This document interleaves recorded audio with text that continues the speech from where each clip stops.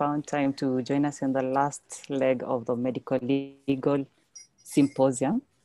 And uh, today we have a very interesting conversation, interesting topic. We're going to talk about uh, forensic examination in medical legal cases. And this is an aspect that affects all of us as healthcare workers.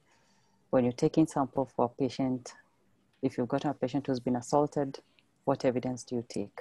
So that is the conversation we'll be having today. We'll also have a session on professional indemnity.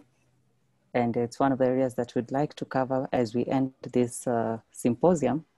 So I really hope uh, you'll stay tuned with us and uh, get to learn about professional indemnity for the healthcare worker. So we're going to start off with Dr. Francis Kimani from the Ministry of Health and he's going to take us through a session of forensic DNA in medical legal Dr. Joseph Kimani. Sorry, I apologize. Dr. Joseph Kimani. It's okay. Yes, and he's going to take us through a session of forensic DNA in medical legal cases. Yes, so Dr. Joseph Kimani, karibu sana, and apologies for the name. No, no, it's okay. Yes, go ahead. Okay, good afternoon, everyone. I hope uh, everybody can hear me clearly. Uh, my name is uh, Dr. Joseph Kimani. I am the head of forensic uh, biology at the Department of uh, Government Chemist. Now, um, I think uh, Dr. Kalondu, I would need to, I don't know how, whether I can move the slides from my end. No, we'll move them from uh, our end. That, okay, thank you, thank you. To, yes. Yeah, so let, let's move to the next slide.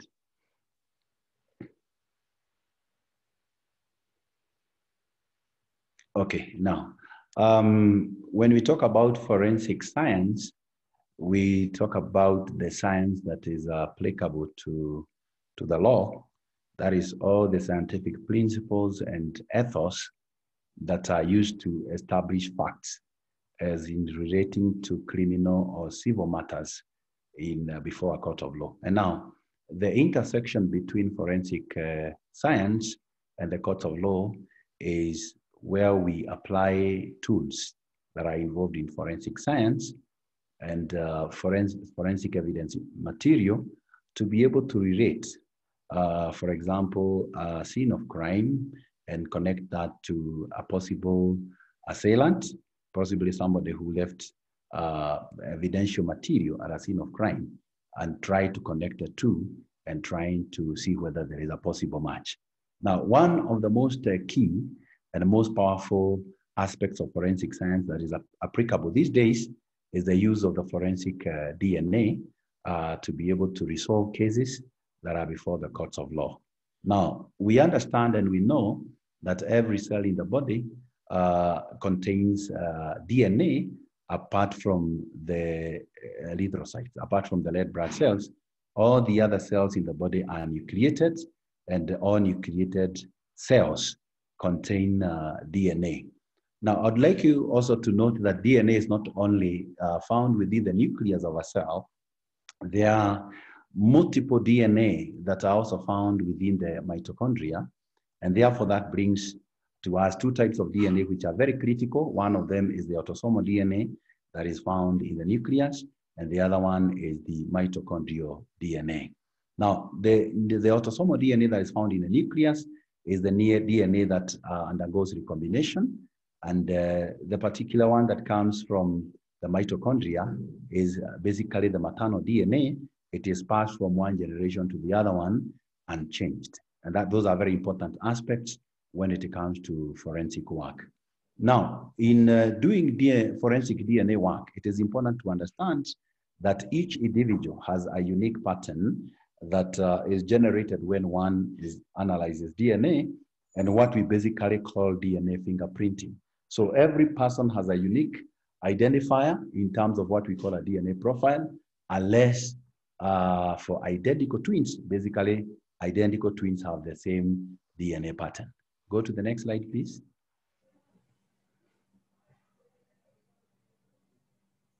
Now, when, when we look at, uh, when we look at uh, the DNA, uh, we basically recognize that DNA in the nucleus is not free DNA. It is packaged into what we call the chromosomes, the thread-like structures, where it is compacted uh, by histone proteins uh, to, to, to make what we call the chromatin.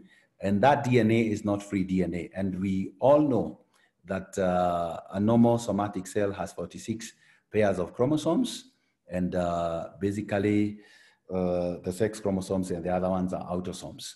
And uh, that forms the basis of what we, we work on when it comes to uh, the DNA uh, forensic work. Go to the next slide, please.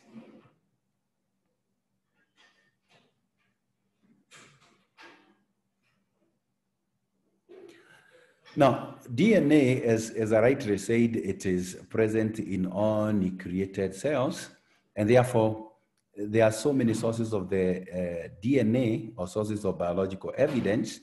That is to mean we can't be able to get very good evidential material from blood, from semen, from saliva, from hair, from teeth, from bone, from tissues, name them. So we can have so many sources of DNA. Uh, you can have very good DNA from uh, uh, cigarette butts. That is a DNA from the epithelial cells of the mouth. You can have what we, we are now calling contact DNA. That is any contact that uh, employs good enough friction uh, with the epithelial cells will be able to confer a surface with the, with the DNA. So we are able to get good DNA from uh, the, uh, the armpits of the sharks. We are able to get that from the color we are able to get it from very many areas, including mobile phones that we use every every single do, day, uh, doorknobs. There are, there are very many areas where you can get trace amount of contact DNA, and therefore those are very important and good sources of, uh, of the DNA. One other important aspect is that we are able to take advantage of even the very small, minute amount of DNA, what we call trace DNA, and be able to amplify the same and get very nice biological evidence that can be introduced in court. Next slide.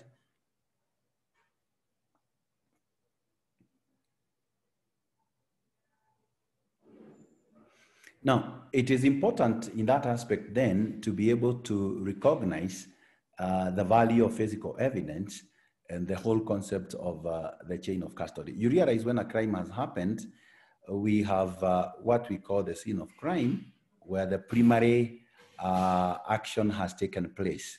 And now you need to be able to pick uh, the evidence, which might be in terms of microscopic amounts or, or massive, massive, massive amount of evidence.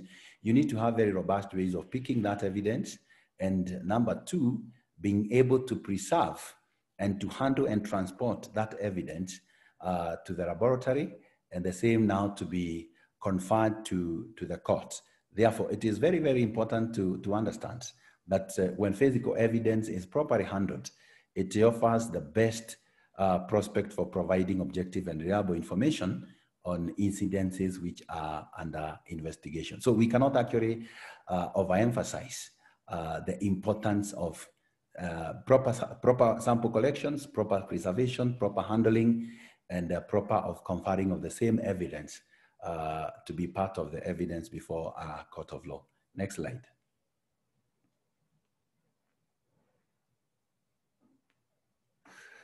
Therefore, uh, it is very important to understand that quality is of importance when it comes to the way we handle the, the, the, scenes of crime and the way we handle what we are collecting, the way we package it, the way we label the scene, the way we transport it. They become very, very important aspects and therefore, we can also not ever overemphasize the important need of quality control measures and quality con control systems uh, so that we can be able to get uh, the evidence, uh, the primary evidence in the best, uh, the best state and get the correct uh, evidence so that this can be able to sustain uh, proper evidence presentation before a court of law.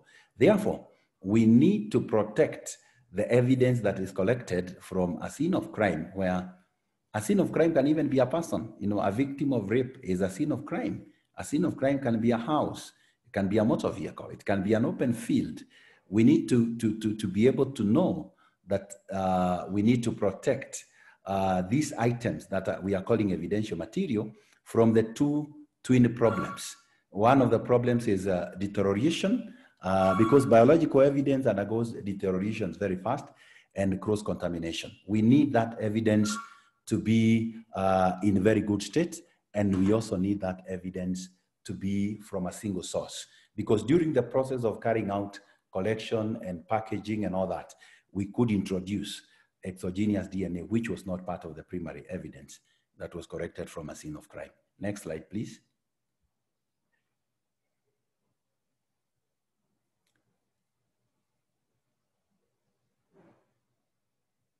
Yeah. So that it becomes very important to know that uh, we, we need to be able to properly process the evidence that we collect from a scene and to be able to package it in the right way. And therefore, the other very important aspect of that process is the, uh, the process that we call the, or the, what, the aspect that we call the chain of custody.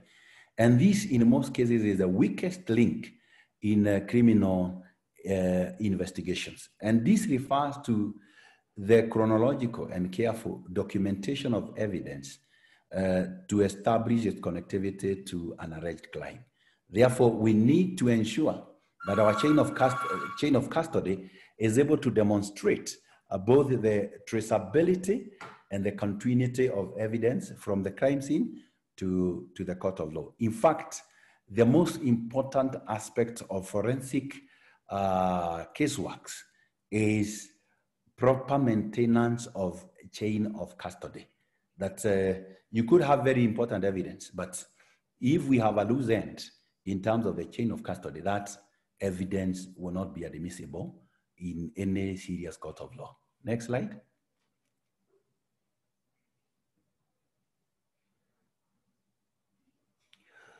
Uh, therefore, we are saying that every incident, uh, be it a crime, an accident, a natural disaster, armed conflict, all these, they leave uh, traces of evidence. And this, uh, this trace evidence is both transient and very fragile.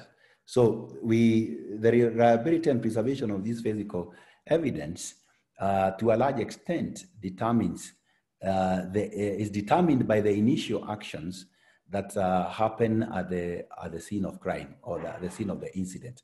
And during my oncoming uh, slides, I'll be able to give like two or two or three examples where a scene of crime was not handled very well, and thereby the other consequent uh, analytical work that happened gave a lot of challenges because the scene of crime was not handled professionally, uh, the integrity of the samples was not properly maintained, the scene was not very secured, and therefore contamination uh, was, was, was allowed to set in.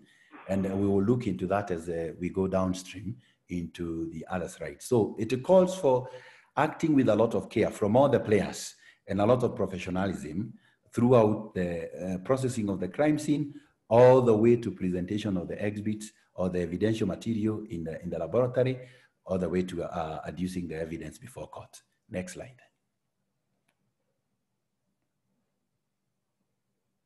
Now, we are saying um, a scene that is not properly uh, secured and preserved will lead to unnecessary activity, and I've just mentioned that, which is uh, may irreversibly modify, contaminate, or compromise the scene and the evidence. And we have, I've actually stated that sometimes the evidence is trace.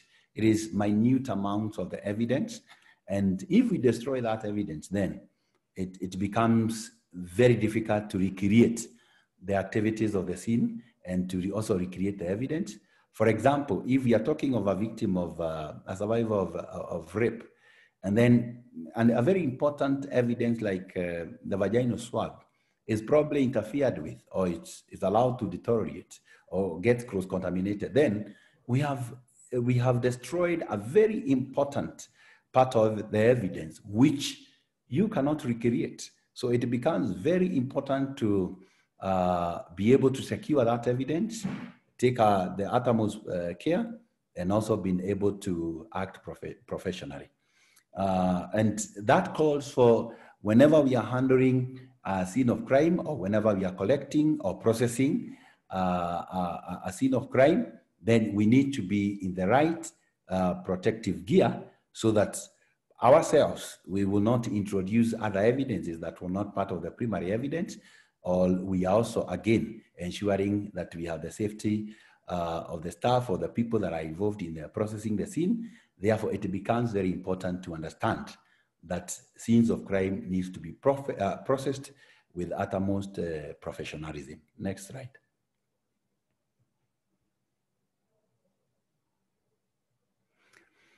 Now, the search for evidential material in a, in a scene of crime uh, requires that we become very systematic, that uh, we must be very careful and very, very uh, critical with the issue of documentation, that there must be a systematic way where we, we handle the records uh, of all the materials. We take an inventory of all the materials that are present in a, in a crime scene and uh, we document the same. And documentation aims at producing a permanent and an objective record of the scene and uh, particularly of the physical evidence and any other changes that, uh, that take place. So accurate documentation is the starting point of the chain of custody. And once physical evidence is recognized, detailed documentation is made before it is removed or even recovered. So the whole aspect of mapping the scene, the whole aspect of videography and taking photographs, uh, taking sketches, you know, documenting every single detail because we might not get opportunity to revisit the scene. And even if we do, the scene might not be virgin the way it was. So the very first responders to a scene of crime must ensure that the scene is properly processed, properly documented, and every detail is captured because that might be critical uh, in, in the downstream processes and the other people that you come into contact with that evidence being processed. Uh, let's go ahead with the next slide. And thereby, so every uh, uh, particular item of importance in a scene of crime must uh, be identified and the people who are processing the scene must understand uh, what kind of evidence they need to collect and how they need to package that evidence and how they need to, to label that evidence. And it's important to ensure that uh, the, at the earliest opportunity, we need to take this evidence to the lab as fast as possible because of that dual nature of, uh, of, of, of the evidence that it is fragile and it is, it is vulnerable to deterioration. Biological evidence deteriorates very fast, and there, thereby we need to process it very quickly so that we can take it to, to the lab. And each piece of evidence uh, should be labeled and sealed following laid down requirements and, and uh, regulations. So priorities in evidence also must be given uh, to avoid unnecessary loss and degradation. So extremely degradable evidential material should be uh, processed as quickly as possible and transmitted to, to the laboratory. Next slide. Of course, I will not ever overemphasize that the need for the people processing evidential material uh, to ensure that uh, they do not pose a risk to the people downstream, that is probably the scientist or the analyst that will be working on that, the people to receive the same, and even themselves. That calls for people to be in the right the right gear, and especially when it comes to handling of DNA evidential material, it is uh, of uttermost uh, importance to ensure that any item that is handled, it is uh, with the, the person that is doing it is handling that, that with gloves uh, because of the, that very important aspect of cross, uh, cross contamination. DNA can be amplified on very minute amounts.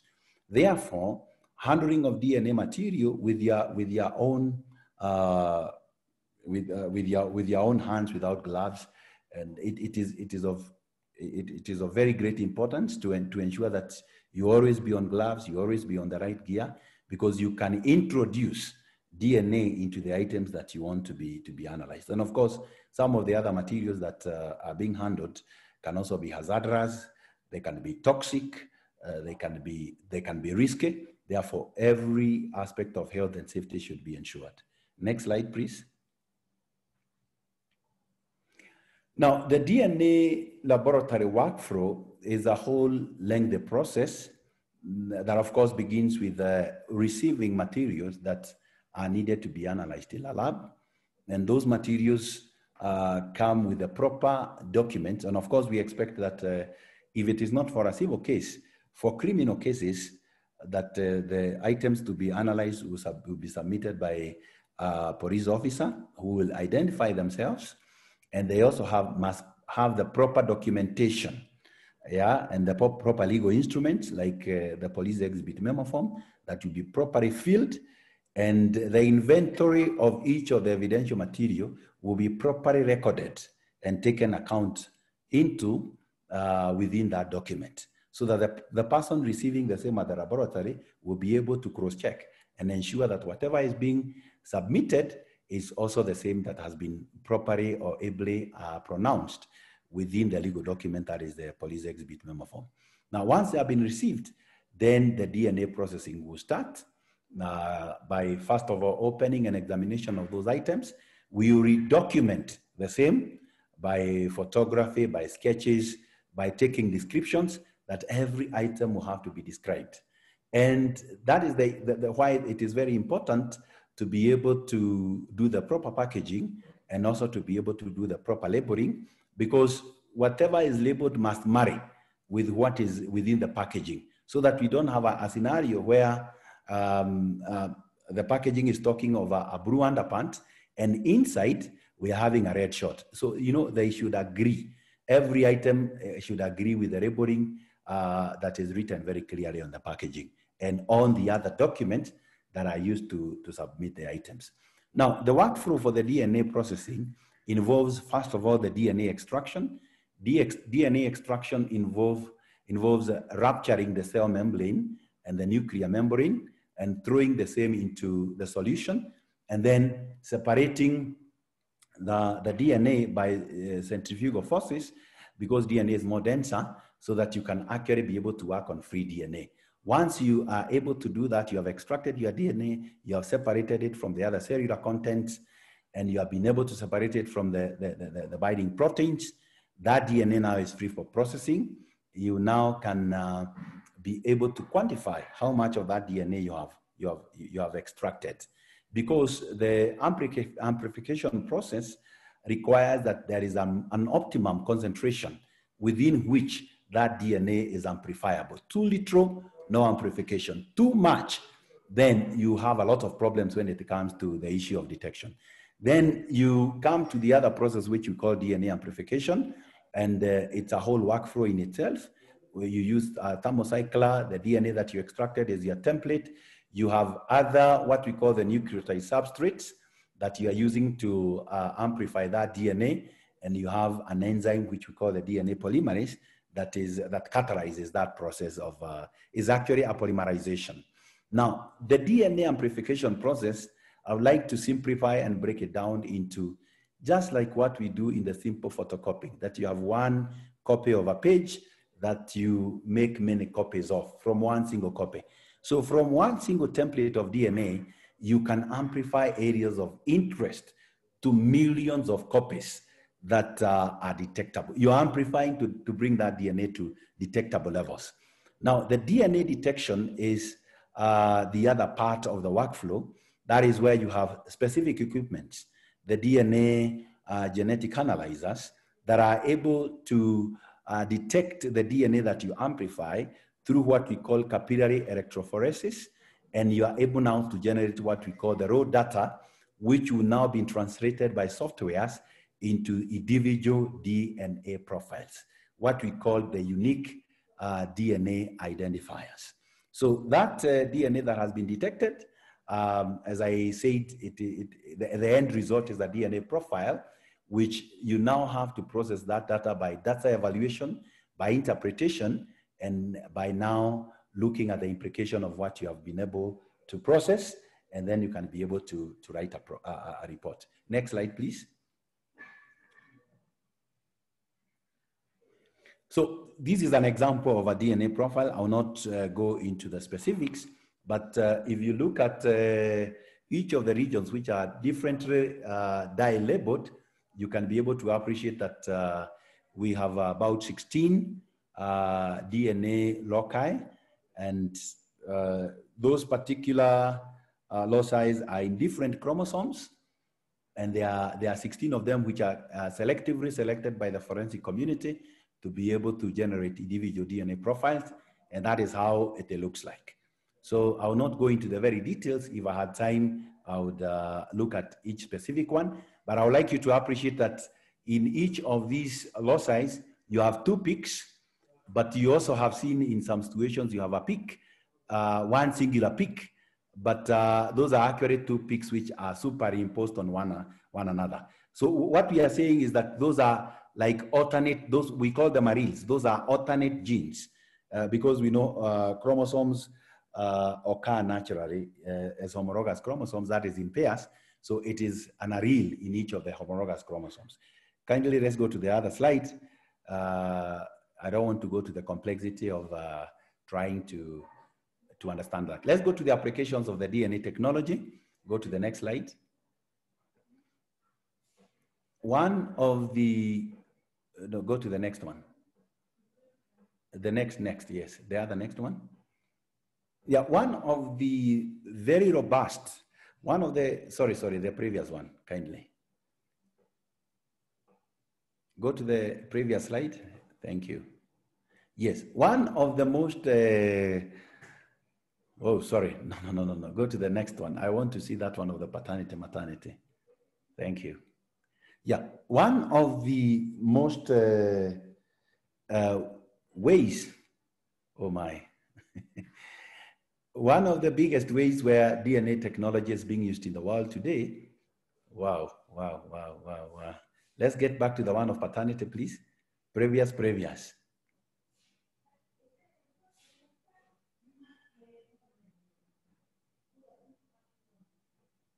The other one, previous one.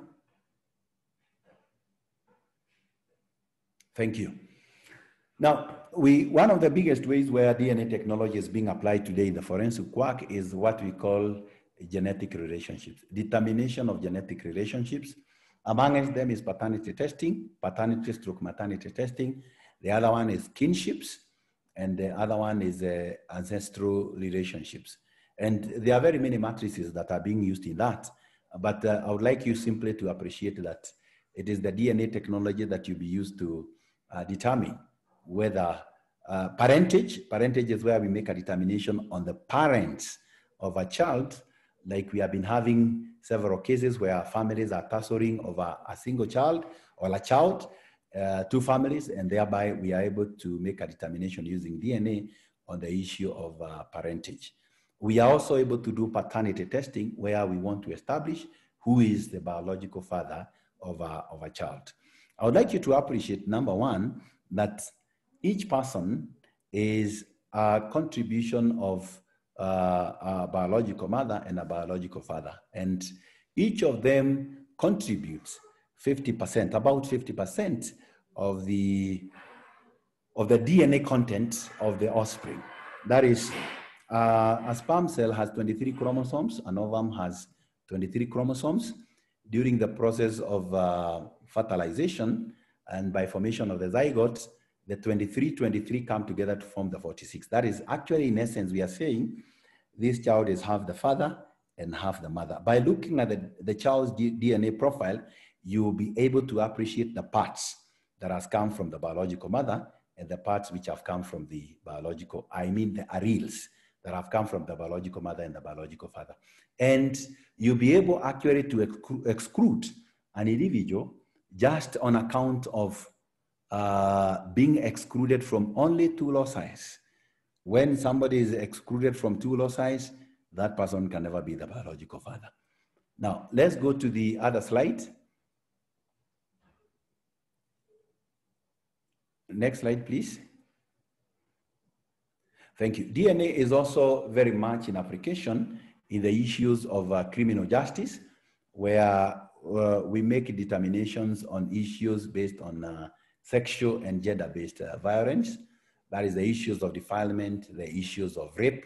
And uh, of particular importance is that um, Lock, the Locard principle, Edmond Locard, said every contact leaves a trace. Therefore, when a crime has been committed, it is important to understand that there are uh, evidences that you'll be left either at the services or with the people that were involved. So during the process uh, of an assault, like uh, that of the sexual assault, uh, you'd expect that uh, if uh, there was, for example, ejaculation, you, you expect the services or the, uh, the clothings or the people themselves might contain part of the biological evidential material. So one of the most key important evidence that comes from a sexual-based violence case is trying to determine whether there is presence of spermatozoa and the second thing, the issue of the epithelial cells. Nowadays, we can even go further, try and look at, was there evidence of contact DNA? Uh, and and I, I did actually mention that sometimes the contact DNA, we can be able to get it from doorknobs, from mobile phones, from cigarette butts, you know, just the minute amounts of DNA left by just mere contact. Now, uh, the most important uh, evidential materials that are very critical for a sexual offense. One of them is the intimate sample from the victim, and that is the vaginal, the high vaginal swab. It is very important uh, that we are able to, to take a vaginal swab, which basically we should be able to, to, to do that within the next, uh, within the 72 hours after that has happened. That doesn't mean that if a victim presents themselves after 72 hours, we don't go ahead and take a, a HVS. We should, because we should uh, make attempts of try and see whether we can be able to get any uh, biological evidential material from that. So IHVS is very important. We also should be able to take the reference samples from both the victim and the assailant. Uh, basically, nowadays we take the buccal swabs. It's non-invasive um, and uh, it's also less hazardous. Uh, apart from the onset of COVID, it was very safe. Um, the other um, items are the inner clothings, uh, things like the underpants, things like the petticoat, you know, all those things are very important. If a condom was used, it is of uttermost importance to have that condom because it can be able to tell us two things. In the inside of the condom, we can be able to, uh, to, to, to, to get, uh, if a condom was used, we can be able to get uh, the, the, DNA from the one who won it for contact DNA, and outside it, we can get a mixed profile uh, from both the victim and the, and the assailant. So those are very critical. When we get that, we of course process it through documentation, and uh, then we go to the other downstream processes. Uh, let's go to the other slide, please. I'm trying to be as fast as possible. Um, so some of the presumptive tests that we subject uh, evidential material for sexual offenses is uh, one of them is the Seratec P30, uh, based on the prostate-specific antigen that is able to tell us whether there is that, uh, that glycoprotein within which is an indicator possibly there was amino material. And the other one is what we call the APTES test um, that we also try to see whether there is any evidence. These are presumptives on whether there is any evidence of uh, amino material. But of course, as I said, these are the preliminary tests. We need to subject now these tests to more confirmatory tests. Next slide.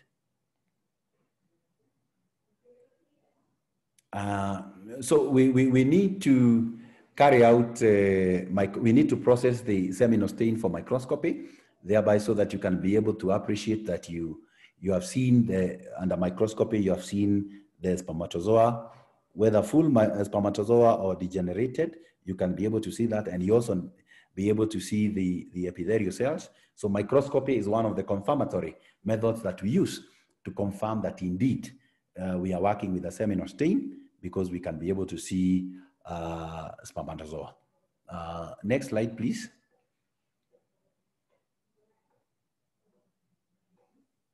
Then um, other confirmatory methods that we use to be able to confirm that indeed uh, we have seminal stains is that we carry out, once we have been able to do the presumptives on the P30, uh, what we call the, the, the, prostate specific antigen test and the APTES test, then microscopy, then we subject that to what we call differential, differential extraction. Differential extraction is where you separate within the seminal fraction or the seminal stain, you separate both the male fraction and the female fraction so that you can differentiate uh, being able to process each of them. You can be able to individualize the male fraction to get the DNA profile uh, that will be generated from that fraction. And then you can also be able to uh, generate a DNA profile from the female fraction, and uh, it will give you two things. The male will tell you who was the assailant. The female uh, fraction will be able to give you the DNA of the victim. Now, today we also have a, another advanced uh, platform that we are using, which we are calling the Y chromosome DNA. The, the Y chromosome DNA. The Y chromosome DNA, uh, literally, because sometimes uh, there, are, there, there are two problems happen. Because number one, you could have a situation whereby the, the, the person is aspermic, you know, or, or azoospermic. And uh, trying to get uh, good DNA from that will be a problem. But you can also be able to get the male epithelial cells to give you a Y chromosome DNA profile, which will also direct and lead you to the assailant. That is very important.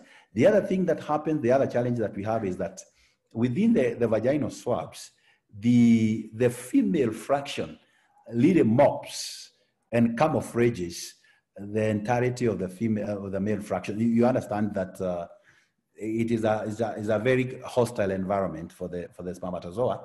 Therefore, the lifespan of the spermatozoa within the the, the, vaginal cavity may not be that prolonged because of the brutality of the the fluids.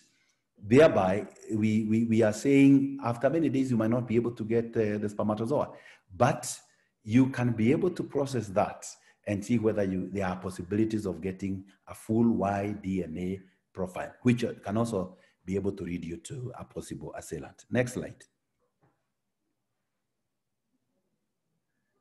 Then we also use the DNA technology beside the genetic relationships and the sexual assaults we also able to do that on homicide cases, cases where somebody has been has been killed, and um, as you can see from that slide, you you have different scenarios where somebody has been killed. You can be able to see that there's a lot of uh, blood uh, blood smears and blood spills, and that can be able to to tell us a lot of stories. We can be able to generate DNA. And uh, from the items that are left, we can also be able to get a lot of information. If the people who are doing this, uh, this, this, uh, while, drinking water bottles, we can be able to get DNA from uh, used water bottles. We can get DNA from chewing gum. We can get DNA from toothpicks, get DNA from cigarette butts. There's a whole assort assortment of items that we can work on that can also be able to, uh, together with the reference samples, we can be able to match and see uh, who was uh, present at the, at the scene and in actual fact, is this, is this place where uh, the person was killed? Because sometimes you get somebody has been killed in another place and transported to another secondary scene of crime. We have the primary where the person was killed and a secondary place where the somebody was transported. Through the DNA technology, we can be able to connect all that. Next slide, please. Um, and uh, we also process the same. We have varieties of tests that we do we have what we call the Kastle-Meyer test that is testing for the presence of blood. We have what we call HemDirect, confirming whether that blood is human. And then we also document, we open the items, we document, and then we examine and we analyze. The whole protocol for analy analyzation or analysis involves the extraction, the quantitation, the amplification, and the detection and all that data evaluation and interpretation. Let's go ahead with the next slide. Now, other applications of DNA that are not ordinarily done on uh, every day is, uh, well, the DNA on missing persons investigations. We all can remember the Naivasha Karai, the Moi Girls fire, the Gikomba fire. We all can remember all these cases, including Dusit, including uh, mm, the, the Westgate and the Garissa uh, terrorist activities. Uh, tracing and get, be able to get missing persons is one of uh, the other ways that we use the DNA technology. The other one is the military DNA dog tag. This especially happens in the, the military. Uh, the US, the UK, and, and, some of these first world countries are able to do that, that you are able to profile all your combatants, all the soldiers that will be going for war, you take their DNA so that in case they get killed and buried in mass graves, that you can be able to uh, be able to compare the DNA against their DNA. That is what we call the military dog tag. We also, there is also a lot of application of uh, DNA in cold cases where they are reviving cases which were done by other previous methods like uh, the protein polymorphism and the blood grouping methods. They are now trying to, to look at that using the DNA technology. And there are so many people that have been uh, exonerated that were previously convicted. Next slide.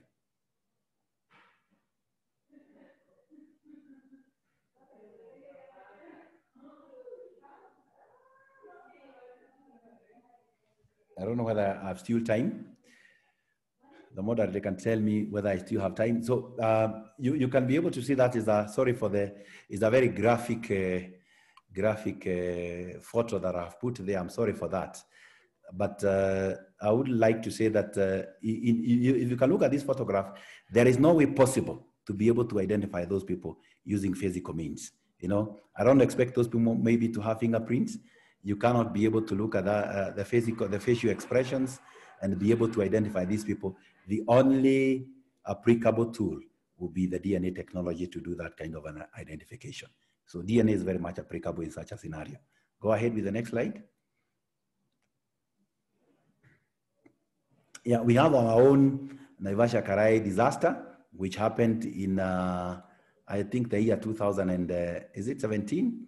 uh, 17 or 18, I can't remember the year very well, but uh, we, we processed uh, we processed those uh, those remains, and I'll tell you in a minute. I'll, if you go, go to the next slide, I'll be able to tell you that uh, this. Go ahead, go ahead with the next uh, slide. Now, I would like to very quickly be able to tell you that in this particular incident, there were so many vehicles that were involved. The vehicles were burned completely. The occupants were charred, were charred beyond any physical identification. And what, what is of importance here is that this scene was not properly secured. Remember, I really men, uh, mentioned that the scenes should be professionally processed.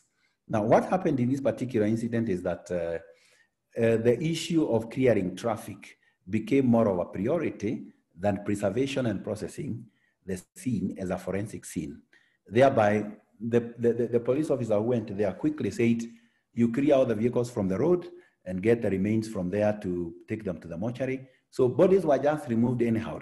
And they were, they were packed in various body bags. So we had a lot of commingled remains. You know, you would have uh, two or three heads in one, one bag. You'd have several eggs and several whatever. You know, all these the, the, the, the, the, the remains were commingled. So it became a lot of work for us to be able to process, uh, to process that.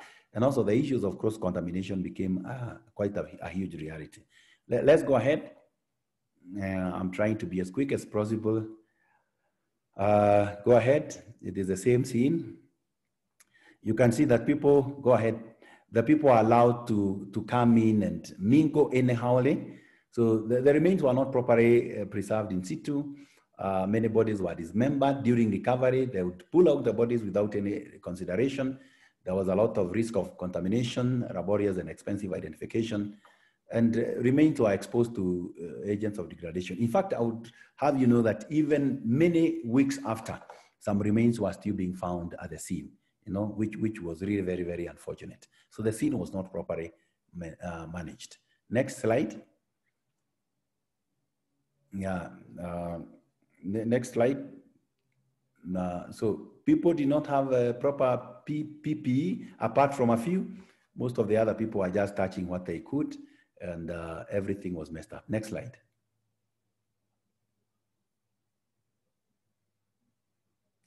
Uh, so after the recovery, we needed to do uh, postmortems and the bodies were transported to Chiromo mortuary only a few could be identified to with, with, the, uh, with the fingerprints. So a decision was uh, made that all remains to be subjected to DNA, DNA human identification. Next slide.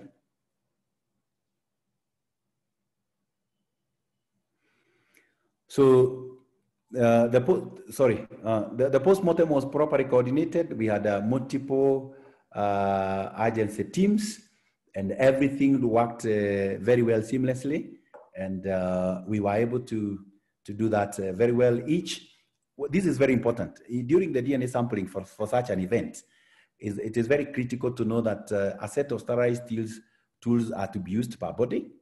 Each team handling should handle one body at a time, ensuring a new set of tools and gloves as you bring in on another body that you are able to change the gloves and change the tools. Uh, body blood swabs are taken from deep uh, muscle cuts, uh, more specifically the one on the thigh muscle. Uh, finger and toenails, if available, are also very important. The costal cartilages from the sternum area are also very important uh, because those are the areas where DNA better preserves. You know, the fingernails, the deep muscles, and uh, of more particular interest is the, the long bones like the femur, the femur and the shaft.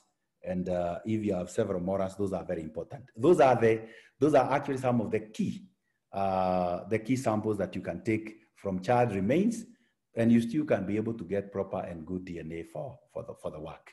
Packaging and, uh, and, and labeling should be consistent, that should be ensured. Let's go to the next slide. Uh, we can try to jump a few so that I can finish. Uh, so the reference samples, uh, if I can just put on this, eh, uh, in terms of where we are looking at identification of missing persons or unidentified bodies, the order of priority of the reference samples would begin with the biological parents. If the biological parents are there, it is important to have them. And we have never said, I've heard this on media that we, we say we don't want fathers. That has never come out from us we have never said we don't want fathers. It is both the parents if they are available. Biological children in that order, biological siblings, uh, paternal males uh, for use of the Y chromosome DNA, and maternal males where we have the ability to do mitochondrial DNA. Next slide, please. Uh, let's jump to the one for the Moi girls. This was a learning point from uh, Naivasha Karai. The right things were done we were able to quickly process and identify all the bodies within about three days because we had learned the good lessons from the Naivasha Karai. Uh, let's go ahead. Mm. So the overall challenges in such kind of uh, scenarios is one is the issue of the deterioration of remains, environmental factors. We need also to ensure that we have a, a singular command and lead agency at the scene so that we don't have things going out of hand Information and accuracy of the same should be ensured. We are also dealing with issues of emotive relatives that uh, we should be very patient with them and we should be able to give them the right information. And then the remains should never be processed, should never be preserved with formalin before we have taken DNA samples. Formalin is an inhibitor to DNA processing. So I think that is very important for me to mention that that uh, if, uh, if remains are to be processed for DNA, kindly do not embalm. Wait for the DNA samples to be, to be taken because if you do embalm using formalin, then you, you, you have destroyed the DNA evidence that we want to, to do that. Then uh, the issues of cross-contamination should be, uh, you never use a tool on two, on two bodies and uh, never put a body on a surface where you had placed another body without first sterilizing and decontaminating. And then the whole issue of uh, resource mobilization to ensure that you have all the tools and all the PPEs that you need. Next slide. I uh, hope to be coming to the end uh, of my talk. Uh, i may not have time to talk about the forensic DNA database. Uh, this is something that we need to establish in our country where we can be able to store all our DNA profiles. And uh, those are some of the milestone cases that we have handled. I don't need to go through them. And I think uh, with that, I can come to the end of my talk. And thank you so much. Thank you very much, Dr. Joseph. And sorry for taking too much time. It's okay, we understand, but the topic was really necessary. So as we wait for Dr. Long to share his screen, we'll stop sharing on our end. And as we wait for him, uh, there are a few comments that I've seen. And one is a question, are our traffic police and fast responders routinely trained and retrained on evidence, scene preservation, and how to control bystander interference. That's one of the things, and it's one of the challenges that you mentioned. So are our first responders and traffic police trained in that, Dr. Kimani? Uh, no, um, we, we have tried to look into that, especially coming as an offshoot from uh, the Naivasha Karai issue. And uh, basically, it has been repeated in some other incidences. But uh, we are working, we, we came up with what we call a national, um, a national technical team, uh, which composes of the DCI, ourselves, the pathologist, and a few other agencies. And uh, we, we came up almost with some bare minimums and uh, part of that is disseminating information to the other police officers to be able to understand what they need to do and what they do not need to do. And we also took a point of uh, going to Kiganjo. Uh, myself and a few of, uh, other of our senior officials, we visited Kiganjo and we are trying to work together with them in uh, bettering their curriculum so some of these issues uh, should not be repeated we, we, are, we are doing something about it. Okay, thank you. Uh, Dr. Olong, you could be uploading your or sharing your screen. All right. We'd, like to, we'd also like to welcome Dr. Jen Mnyapara. So Dr. Olong, you go first and then Dr. Jen Mnyapara will take us through the next session.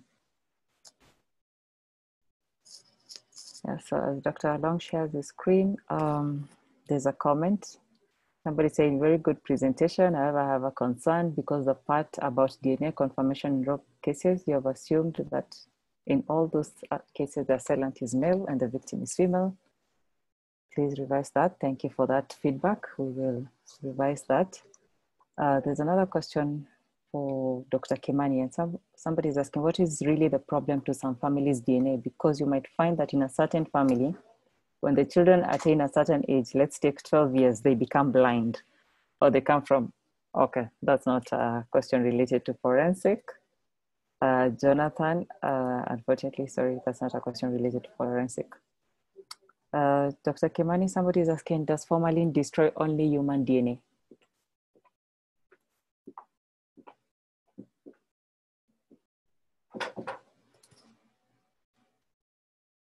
Okay, we seem to have lost Dr. Kim. Uh, he seems to have dropped off. So Sorry, we'll have Dr. I had, yes. I had muted my, my microphone. Oh, okay. Okay, okay. So you, you have asked whether formalin destroyed all types of DNAs? Yes, somebody's asking whether it destroys only human DNA.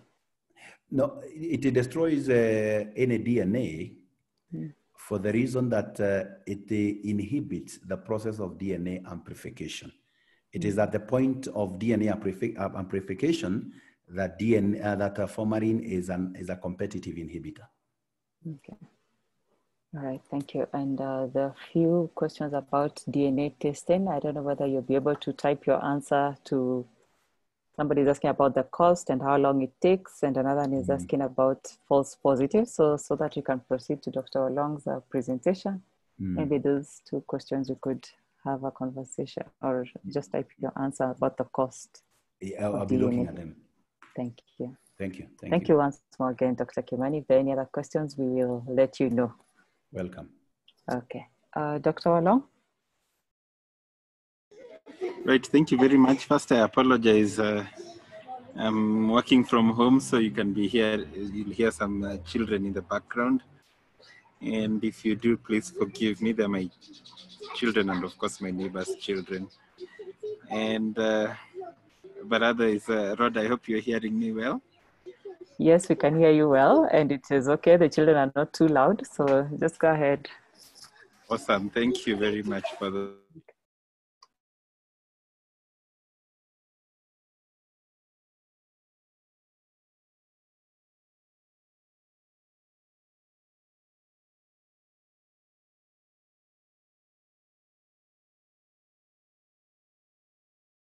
Hello, Dr. Olong.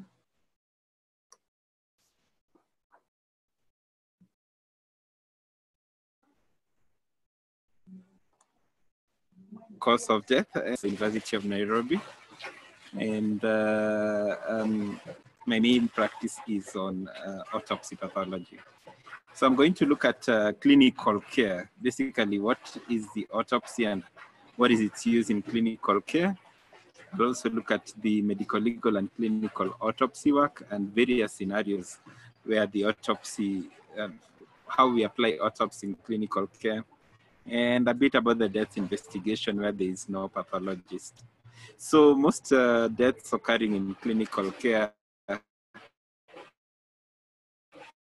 are, like, are due to the, the actual disease process as part of its natural history of uh, disease. We can also see undiagnosed diseases occurring um, and, and they have been undetected. I mentioned current disease. I usually do a lot of maternal mortality work. That's why I have lots of references to pregnancy. But this is true in every disease process. We have uh, deaths occurring due to misadventures, difficult procedures, true accidents, failure of equipment, various misadventures where there is an intentional injury or retention of uh, instruments, and a lot of them are definitely due to the environment. So, of course, uh, whenever these deaths occur, we perform medical legal autopsies. The autopsies we perform are defined by the National Coroner Service uh, Act uh, number 17 of 2018. It's not yet in full application, but at Kenyatta National Hospital, we apply the provisions of this act to the best of our ability. We always look for good clinical documentation. Of course, uh, even though it's a forensic or medical legal process, we still engage the next of kin and get some uh, degree of assent. We usually go through records, but this is not my area. I do not look for falsification, but these ones are easily identifiable. And uh, one of the main uh, um, parts of advice I give my clinical colleagues is that whenever there is a mortality, we prefer that you leave everything in place so that we can examine it um, appropriately. So we usually, because we are a clinical, a teaching hospital, we want to involve the clinical team as much as possible. And we like their presence or their representation. And our autopsies will always be complete. And I'll show you why. The dissection procedures we modify to spare uh, medical um, areas or, or what, what do I call it, surgical incisions and so on.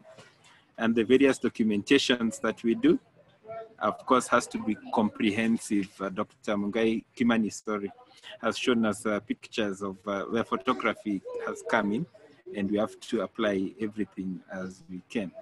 Our conclusions and descriptions are unambiguous, and we always want to have clear conclusions. There are circumstances where this is not possible, but in many scenarios, we can come up with clear conclusions and the beauty of that is that it will resolve intellectual tension and we can discuss and unearth sensitive issues, especially in the mortality meeting. Sometimes when you have difficulties, we may involve independent clinicians within the affected specialty and, in, and the clinicians. And of course, not only clinicians, but the nursing staff are critical in this area. And then we come up with a final cause of death. And I will not go into this in a lot of detail today, where we use the, what we call the decode process aligned to the ICD-10 system.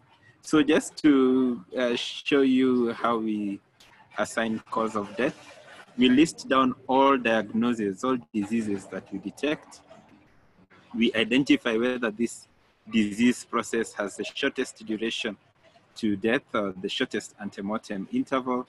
And the one with the shortest is the one we assign as the immediate cause of death. And then we look at the relationship between that disease and the rest and identify whether there is a causal factor or causal chain. Okay, so we do the causality.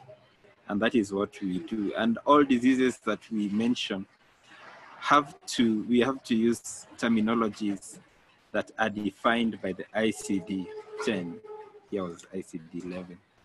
Then eventually, once we have a cause of death, we also assign a manner of death, or we suggest a manner of death. National Coroner Service Act um, states that the manner of death is assigned by the pathologist who's acting as a coroner at that uh, particular scenario. And with that, we can assign manners of death as homicide, accidental, suicide, or medical misadventure, which is a special accidental category relating to deaths in healthcare. And if we do not know, we just say we don't know. And when we say we don't know, it means that this case has to go for an inquest. Right, so the National Coroner Service Act defines the deaths that we need to examine under the Act, and those are the ones we call forensic, and uh, uh, Dr. Kimani has mentioned some of them. So all forms of violence, any misadventure, and not only medical misadventure, but we mean misadventure in various negligence, misconduct, and malpractice. Spe specifically, the Act wants us to also look at deaths due to pregnancy, deaths occurring in custody, and various things. And uh, the reason we are doing this is that uh, we need to come up with various, the main information is to identify the cause and manner of death. That's very important. The second is to identify issues that are useful in identifying the preventive measures that can be undertaken to prevent similar deaths. Okay. Right. So now I'm going to take you through some cases. I am assuming most of you are familiar with the healthcare environment. And if you're not, um, I want to apologize. Some of these cases will be extremely distressing to you, but I show them purely for an educational uh, uh, purposes. And, and uh, Rhoda and, uh, sorry, Dr. Kalondo, if you find that I've gone too far with this, you, please let me know. You can interrupt me, right? Yes, Okay. I will. Okay. Thank you. So this is the first case uh, that I'll take you through. It's a maternal mortality, and this is the autopsy picture, and you can see that there's a surgical scar. But what we know is that this was a 38-year-old female with an who underwent a cesarean section, and after that uh, she had hemorrhage and died prior to repeat surgery. What's known is that she's diabetic and hypertensive. And internally, of course, we confirmed that she truly was pregnant and uh, there was a bit of bleeding here. And one of these unusual things the pathologist performing the autopsy found was an adrenal tumor. Here's a picture is trying to show us that adrenal tumor, which we examined and found and diagnosed that it's a specific adrenal tumor that that that that affects the adrenal cortex, and uh, it's a which is called a cortical adenoma definitely related to hypertension and diabetes. So we at least we know why this lady has hypertension and diabetes. Now, why did she bleed? So this is the uterus when it's been dissected in two, and you can see the single arrow shows where the surgeon had operated uh, through, and the two arrows show the complication of that surgery, meaning that there is a posterior tear and rupture, and this identifies exactly why why um, where he bled. Now, what do you think is the cause of death? Um, Dr. Kalondo, would you like to attempt this? Sorry for putting you on the spot. That's okay. That's okay. Uh, I've seen that she had some bleeding. Yes. Uh, the mother also, sorry, uh, the mother also had uh, just delivered, although an IFD. Mm. Uh, you said the last slide, sorry, I didn't get, exactly what you said on the last slide. There was an adrenal mass that we An found. adrenal mass. She's diabetic, she's hypertensive. Uh, And I hope my uh, the other participants are typing in what they think is the cause of death. Can type in what you think is the cause of death. You can hypothesize. the, other- the other participants, we open up the chat box for them to type in. Yeah, yeah. You can Yeah, let me open up the chat box. You can even that, do it on the Q and A box, and you can let Okay. me know all right. what so they're thinking up- of. So as as you're thinking of what uh, the cause of death is, what you can see from this is that the post the autopsy, you know, the word autopsy simply means to see for yourself, and uh, what we are describing here is what we have seen. We are not uh, uh, coming up with things out of the blue, right? And that is the real essence of the of the autopsy process. Of course, it has to be done following specific guidelines, and as uh, Dr. Kimani has mentioned, the body is viewed as a crime scene. The pathologist is the lead investigator in that crime scene, and uh, has to be methodical in the approach. Right, Dr. Kalondo, I'm interested in what uh, the audience is uh, thinking of. Have they mentioned something? Yes, in the chat box, uh, Joseph is saying uterine tear. Uh, Mhm. Sylvia is saying hypertensive emergency. Mary is saying surgical Mhm. complication. Anthony is saying pheochromocytoma complicating PPH. Mhm. Uh, Lucy is saying hemorrhage from surgical posterior tear of the uterus. Brenda is saying wow. DIC, severe hemorrhage leading to shock and death. Angeline Uh-huh. is saying hypovolemia. Lynette is saying postpartum hemorrhage due to uterine tear. Yes. Uh, Moses is saying Waterhouse Friderichsen syndrome. And then Grace and Faith are saying PPH. Whoa, okay. I think Moses has just been reading, has recently just been reading about adrenal pathology. And I really like what all of you have said. You've said that really um, pretty much uh, the essence, but this is how I will word it. So, cause of death are classified into two broad groups. The first group is the immediate cause of death, and uh, the cause of death is the disease process itself. And what we are able to demonstrate here, both from clinical and pathology, is that there is postpartum hemorrhage. And we all agree on that, right? And the next diagnosis we can ex- agree on here is that the lady had undergone a surgical procedure, which is a diagnosis on its own right. So I've, diag- I've mentioned the surgical procedure, the reason for the surgical procedure, and the main complication of the surgical procedure. And I have linked the postpartum hemorrhage and the surgical procedure with the term due to, meaning that there's a causal linkage. Postpartum hemorrhage followed by is one that occurred in terms of the shortest duration before death. And the reason the next the, the, the, the surgery occurs at a longer duration compared to the postpartum hemorrhage, right? And that is how we've come up with the causal pathway. And of course, logically, we had identified the causal pathway. All the other diagnoses that were found are contributory. Okay, of course, they're important. So the immediate cause is very important because it describes what was happening around the time of death, right? These other causes give us information about the overall context in which this patient was being managed and uh, uh, gives us an idea of what sort of environment this patient would have been. So a lot of you, are, of course, you're right, but what I, what I want you to take from this is that we have classified the causes of death into two. Those are the immediate and contributory causes.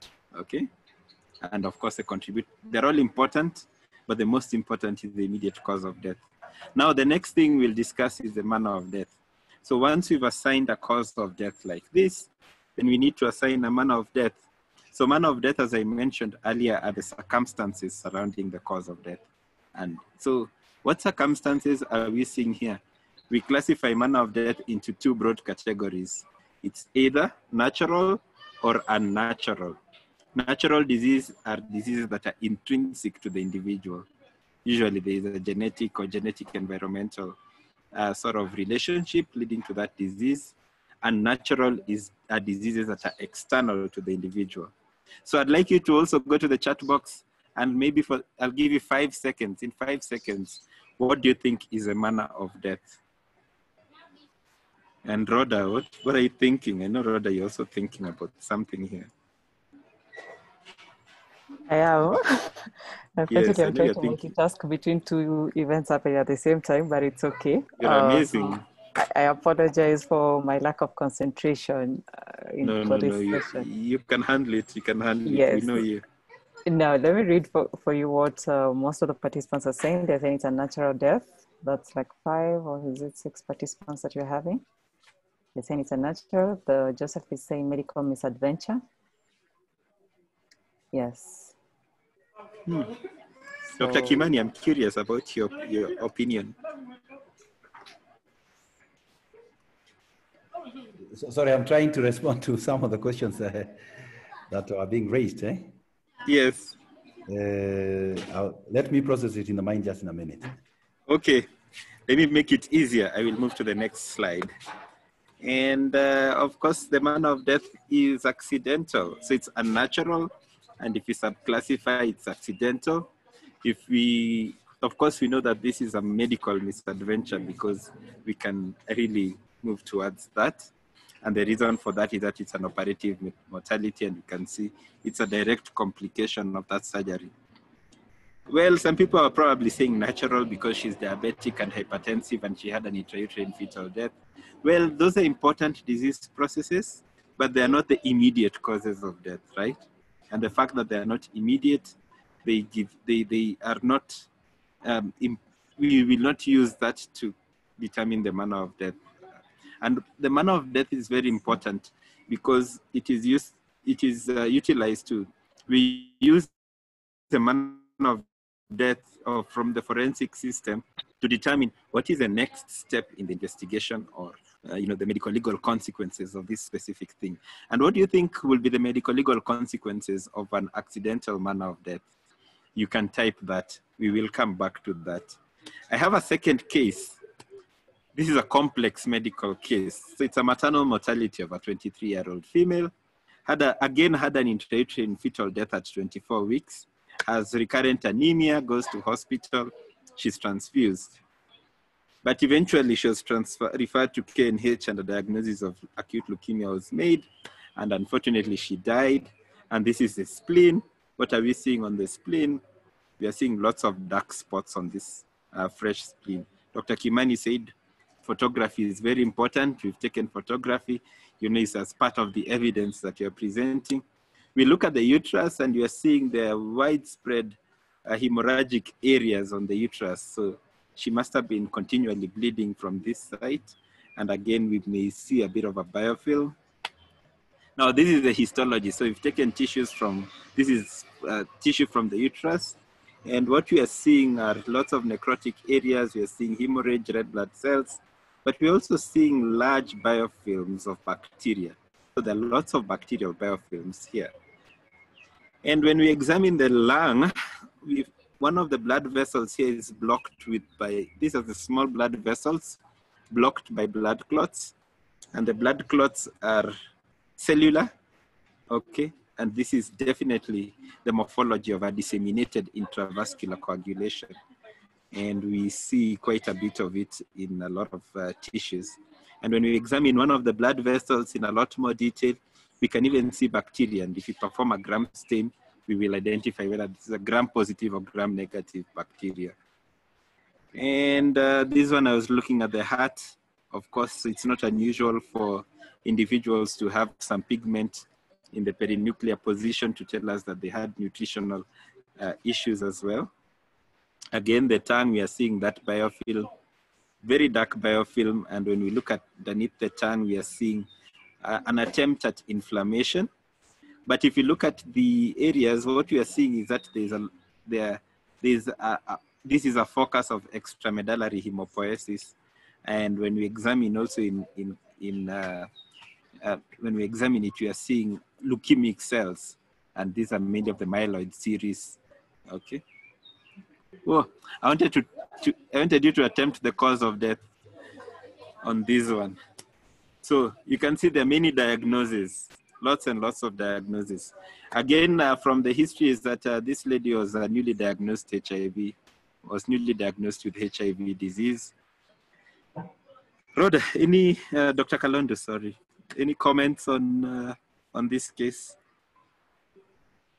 Okay, let me go there see in the chat. People say DIC, sepsis and DIC. Mm -hmm. Sepsis mm-hmm. septicemia, sepsis. Mm-hmm. I'd like mm-hmm. first to apologize to uh, people might not understand the abbreviation. We apologize. I apologize. Quite a lot of abbreviations today. We really apologize, but I hope you'll be able to stay on course and understand. So somebody else is talking about natural cause, septic shock, uh, pulmonary embolia and severe hemorrhage, sepsis, immediate cause of death, DIC secondary to acute leukemia, pulmonary embolism, sepsis. Yes, so we have quite a lot of sepsis, uh, votes on sepsis and uh, DIC. Mm -hmm. Yes. I like the audience. You really have a very good audience. Now, this is how I, I classified all the diagnoses that I made. The immediate cause of death, and I totally agree with these sepsis, and I've demonstrated bacilli that are likely gram negative with the sites where those bacilli are coming from. And uh, we've seen the sites are mainly endometrial and uh, pharyngeal biofilms. There's an endometritis. And of course, uh, this is, uh, we know that she had an IUFD. That is the next diagnosis that's macerated. And all this is related to the acute myeloid leukemia, which is promyelocytic with systemic leukostasis. Okay, too many terms. Uh, somebody says that in, what's his name in parliament who says Kizungumingi. But what I'm saying here is that at least we've properly classified the immediate causes of death. She definitely had HIV AIDS, but HIV stage one, and also had protein energy malnutrition, meaning that she probably been in hospital for a long time. Manner of death here should be straightforward. Some of you have already said that this is a natural death, right? But it's still important for us to perform this autopsy. And why is that? And again, I apologize for my background. So why is it that it's important for us to use an autopsy process to investigate a death like this? So I would like you to put that in the in the chat box, in the queue, and and and we can discuss this as we go on. Last scenario that I'm going to present. Now this one is a patient who underwent surgery. Okay, was that and and uh, had a post and, and we're talking about deaths occurring in individuals who've been operated on, okay, and then they die within six weeks. So we call that a perioperative mortality. So uh, this one I know is gonna make a lot of you cry, so bring your tissues close. It also made me almost cry. Okay, fine, I did cry as well. Right. So this is a six-year-old child, has had abdominal pains for a period of two weeks, and was admitted because of an acute abdomen underwent surgery and you can see the surgical scars there. You can see the surgeon has put ileostomies, but she didn't improve. Instead, she, de she, she developed respiratory failure, okay, specifically acute respiratory distress syndrome, and later on succumbed in ICU. Oh, why am I not moving? All right. Internal examination, this is what we find, and you can see that there's florid peritonitis. There's even an abscess, which is mainly extracapsular. And when we, uh, and one, we, so, so this one, if an individual wasn't very keen, would have said, okay, what's the cause of death? This is peritonitis, but let's move on, we see something. So when we're doing the pelvic dissection, so this is actually the vagina and this is the uterine cervix. So the uterus is here we are seeing that there is uh, inflammation of the vagina and there is an exudate, uh, there is actually pus within the cervix itself. So definitely if you see pus in the cervix with inflammation of the vagina, then you immediately make a diagnosis of a pelvic inflammatory disease. So we wondered where it's from. And so when we were doing the genital examination, we started seeing some injuries there. And you can see that there is a laceration here at six o'clock within the um, posterior fourchette or within the vulva and the additional other injuries which have not demonstrated. And of course, uh, in these individuals, this may have been an incontinent child. You can see there's fecal staining of the of this. So what is the cause of death? We did find that there were gram-negative diplococci that are morphologically consistent with Neisseria gonorrhea. So I would, um, with this information, I would have called it Neisseria gonorrhea sepsis and uh, definitely due to pediatric sexual assault. And the surgery is important because, of course, uh, it's an invasive procedure, it's an important diagnosis, but it's what? It's definitely a contributory, but not the main diagnosis that, that we put in the immediate cause. So I would like you to, to type in and what you think we should put in for the next five seconds type in. What do you think is the manner of death here? And maybe, uh, Rhoda, you can, uh, Dr. Kalondo, you can give us your opinion now. This is unnatural. It's not accidental. Mm -hmm. It's a very sad case. Mm-hmm. Uh, I also to ask you, did the clinical history uh, pick up the sexual assault history? Absolutely not. So these are patients admitted in one hospital, transferred to another hospital uh, to KNH for the, for specialty care. She dies, and uh, there was no mention of, of of this or pelvic examination findings. So the sexual assault was totally missed on clinical examination. So this one just shows that, yeah, Rod, go on, Dr. In the chat, we have uh, a lot of participants saying unnatural, but we have one accidental and Mhm. somebody saying pediatric assault. Yes, Mhm. but a majority of the participants have said it's unnatural cause of death. Mhm. Yes. And the reason I present this case is just to show you that without a method, methodical approach to the autopsy, even an experienced pathologist can miss some of these cases. And if we are not performing an examination, we will definitely miss um, a lot of the lots of things we'll miss if you don't open, right? So opening and seeing what's inside and taking specimens for testing in the laboratory and getting the actual diagnosis using a pathology informed process is what uh, uh, uh, these are the actual standards in autopsy practice. Now, manner of death, I've seen most of you have mentioned a few things. And this one, I immediately ruled it as a homicide. And the justification for this is that there is pediatric sexual assault with PID and abdominal inflammatory disease and, uh, and, and peritonitis. So of course, this is a dis- disseminated gonococcal. I've seen a few people have mentioned accidental, but if you can properly call it a homicide, then we move from the accidental category because accidental would mean if this was a surgical um, error leading to maybe this disease, we see a lot of peritonitis as surgical errors. Okay, so those ones we use the term accidental, but this is definitely not a surgical error.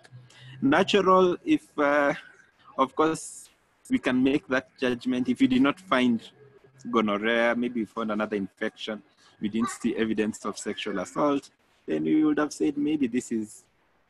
But we, of course, the pathologist will be asked, asking critical questions. What is causing this?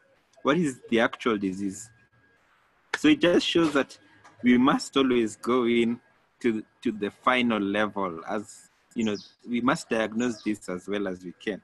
And Dr. Kimani, unfortunately, for some reason, we were unable to uh, bring a good specimen to Dr. Kimani's laboratory. So the sexual assault profile did not pick up the perpetrator. Maybe there are additional reasons for that. Dr. Kimani may probably discuss further why we didn't pick up. Of course, she was in hospital for two weeks before she died and so on. Right. So what happens where there is no pathologist? Now, I've put this screen, screen deliberately blank, and I would like to see your opinions. Um, at what level do you want to see a pathologist? Do you want to see a pathologist at county referral level, national level like us at KNH? Or uh, do you think pathologists should also be all the way down to health center dispensary level in terms of clinical care and performing autopsies at that level? And then the next question is, um, how do you think, in the absence of a pathologist, what do you think is happening? Because we all, if, if you're working in an area where there is no pathologist, what is going on? I'm really interested to see your opinions on that. Okay, so going through the chat. First of all, I think Mhm. pathologists should be at all levels, Mhm. up to the county level, way down if possible. And if we have sufficient numbers, it is a very crucial role. And in the absence of that, uh, what we used to do back then when I was at the county was the medical officer used to do the autopsies or to be part of that team. So the comment section, people are saying the pathology should be at the county level, county due to availability of morgues. Pathologist should be all the way if possible at all levels of care, rely on verbal autopsy. Okay, without the pathologist, the doctor becomes one. Uh, Mm. Somebody saying level four hospital, pathologist at all levels should be in all morgues. Okay, pathologist should not be in, in morgues, but Mhm. yeah, that is uh, one of the working areas. Maybe you can clarify Like- that. yeah. I like and, uh, that. I like that. yeah. Love Somebody says uh, level Mm. one to five. Somebody saying up to level three. Yes, lack of pathologists leads, leads to a miss of cause of death. Each county should have a pathologist. there's the most senior MO does the autopsy in the county hospital. And I think that's the practice at the moment. So maybe Dr. Olong, you can take us through that as we give you five more minutes to wind up. Right. Of course, we know that uh, we don't have quality data of most deaths, and we don't know who dies from what. And the question is um, from you, and maybe you have seen it, maybe you haven't, but knowing who dies from what is very important. And without that, there are many things we cannot we cannot plan for healthcare. We cannot um, provide justice. We are talking about justice here. We even the basic things we we cannot even guide the practice of medicine without this kind of information. So so this kind of evidence is essential. Okay. So basically, I'm not going to go into all this because um, I think there's a lot to, to discuss today. But I've mentioned cause of death is very important. And identifying the cause of death and writing it down properly and you say, this is the cause, therefore the manner will be this. And we need all that information. For example, uh, the autopsy should give us that. If Dr. Kimani has run a profile and we have an answer, we have to, we need to incorporate that into the cause of death because it makes things so easy to whoever is dealing with this downstream um, that the cause of death is clearly written and there is good information. So we have to incorporate any testing that goes on in a deceased person. So that pathologist should not just be there, but should also lead. I'm not going to talk about medical certification, but I do see this a lot. And I must say, I hate it. Uh, how many of you have written cardiorespiratory arrest as the cause of death? It's okay, you can type something about it. And maybe you can tell us why you write cardiorespiratory arrest. Because the problem with this is that it doesn't give us so much information. And I can see even criminal elements have a way of hiding behind this diagnosis. Eh? And I will not talk about this person, maybe he's, our, he's your friend. I'm not going to discuss much. I've talked about the autopsy. So we expect the physician to provide a cause of death opinion at the immediately someone dies. But if the physician is unclear about cause of death, please don't try something you're not sure of. Let us see it for ourselves. And that is what the autopsy does. We prefer that a physician who's trained in doing autopsies should do it, but we've seen that sometimes we have to work with additional teams. And I'm not going to go into a lot of this very brief mention of verbal autopsy. So if you cannot find a good clinical cause of death, there is no pathologist to perform an autopsy and say, okay, people living with HIV are dying of this. Then we have to use the verbal autopsy. And it's more like taking a history and getting some data, but putting it in a computer system, which goes through them, puts them together, and comes up through the analog algorithmic approach, identifies a broad diagnostic process. Of course, the verbal autopsy cannot tell us that this is gram-negative sepsis or gonococcal sepsis. It will just give us broad things and tell us, okay, we think it's an acute cardiac event, a stroke, a sickle cell crisis, and so on. Or various broad categories such as this list shows. You'll say it's sepsis, but we don't know what sepsis it is. It can give us some information in maternal mortality, like anemia of pregnancy, ruptured uterus, and others, and, and so on.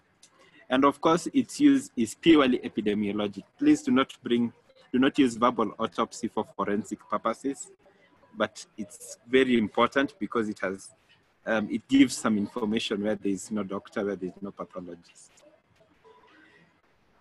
Right, um, I'm gonna skip all this. So finally, I'll just say that, as you mentioned, we think that the autopsy service should be available at the lowest level of care as long as there are mortalities at that site. All those mortalities should be examined. Easier said than done because pathologists are needed. Again, I'll mention not all pathologists can or should perform an autopsy. I know my pathologist colleagues in the audience today are not going to be too happy with me but it's definitely, and Dr. Kimani will tell you, it's not the easiest area. You need someone who can, who's patient enough to get that, and of course has the right knowledge. Various processes, it has to be incorporated into multidisciplinary teams. And of course, there has to be equipment invested into this. So I will conclude by, by mentioning that the autopsy is essential in evidence-based healthcare. It's essential in medical legal services. It's essential for security. It's essential for safety. And it's essential for just having a civilized society.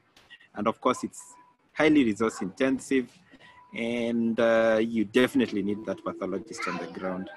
Although without a pathologist, are things we are thinking of. I will stop here, Rhoda, and uh, sorry, Dr. Kalondo, I keep calling you Rhoda because you're my dear colleague. But thank you very much for, for this, and I apologize for taking so much time. It's okay. Thank, Thank you. you. very much for the wonderful presentation. We apologize to those who might have been triggered by the images, but it is necessary. It is what goes into the day-to-day activities of a pathologist. So we appreciate Dr. Walong that you came with a visual uh, representation. Sometimes when we just get the theory part, we don't get to see what exactly the conversation that goes on and the work that you do is all about. But now we truly appreciate once you come in with the photos, we're able to understand. Uh, Dr. Jen Nyapara would like you to share your screen and let me read a comment for you, Dr. Walong. This is from Ali Nyaga. And he's saying, thank you, Dr. Walong, well done. I was your mentor as a nurse more than 10 years ago at Aga Khan. Wow, that is good. So you're having a conversation with people who know you from very far, which is good. And uh, just one more question. Somebody's saying um, if a postmortem is refused by the family, is there a choice for post for autopsy by diagnostic imaging? Are we reached there as a country? Unfortunately, we haven't reached there as a country or even as a planet. Yes. The, we, we use imaging to guide us on what to test. And what we prefer is that we want to have an open conversation with everyone so that the, and, and then utilize good facilities so that the autopsy process does not hurt. The autopsy process hurts when the incisions are not properly made, the reconstruction is poorly done, and uh, of course, and, and it, even hurts more if this uh, family does not get the report, okay, the, or justice is not served. So there's a lot of despondency when those happens. But if it's done well, professionally, and everything is put back very well, then I think, in my opinion, and even I've, I've worked with Muslim clients, everybody appreciates. They only are unhappy when we do it and and we don't go to the bottom of it and they're totally unhappy with that. We have additional approaches to, to improve that, especially for the non-forensic cases. We can use needle biopsies to get tissue because having that specimen is what guides, like uh, Dr. Kimani is here, uh, told us earlier on, without that specimen being submitted to the laboratory for testing, then we lose a lot and we still need to make that connection. So imaging, unfortunately, does not give us that connection. But of course, uh, we can debate this the whole day. And uh, Yes. I know Dr. Kimani can also give us insights onto that. All Thank you for the very- question. I love it. Thank you very much, Dr. Walong, for finding time and coming to tell us more about autopsies and what we need to do right. Uh, so we agree no more cardiopulmonary arrest.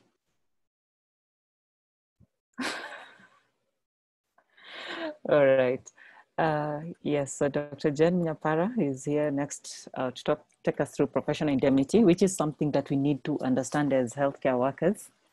And it's right now quite a it's a requirement before for some of the professionals in this group before we renew our licenses or we get retained by our regulatory bodies we must have professional indemnity. So dr Jen Nyapara and julius mwangi will take us through this session.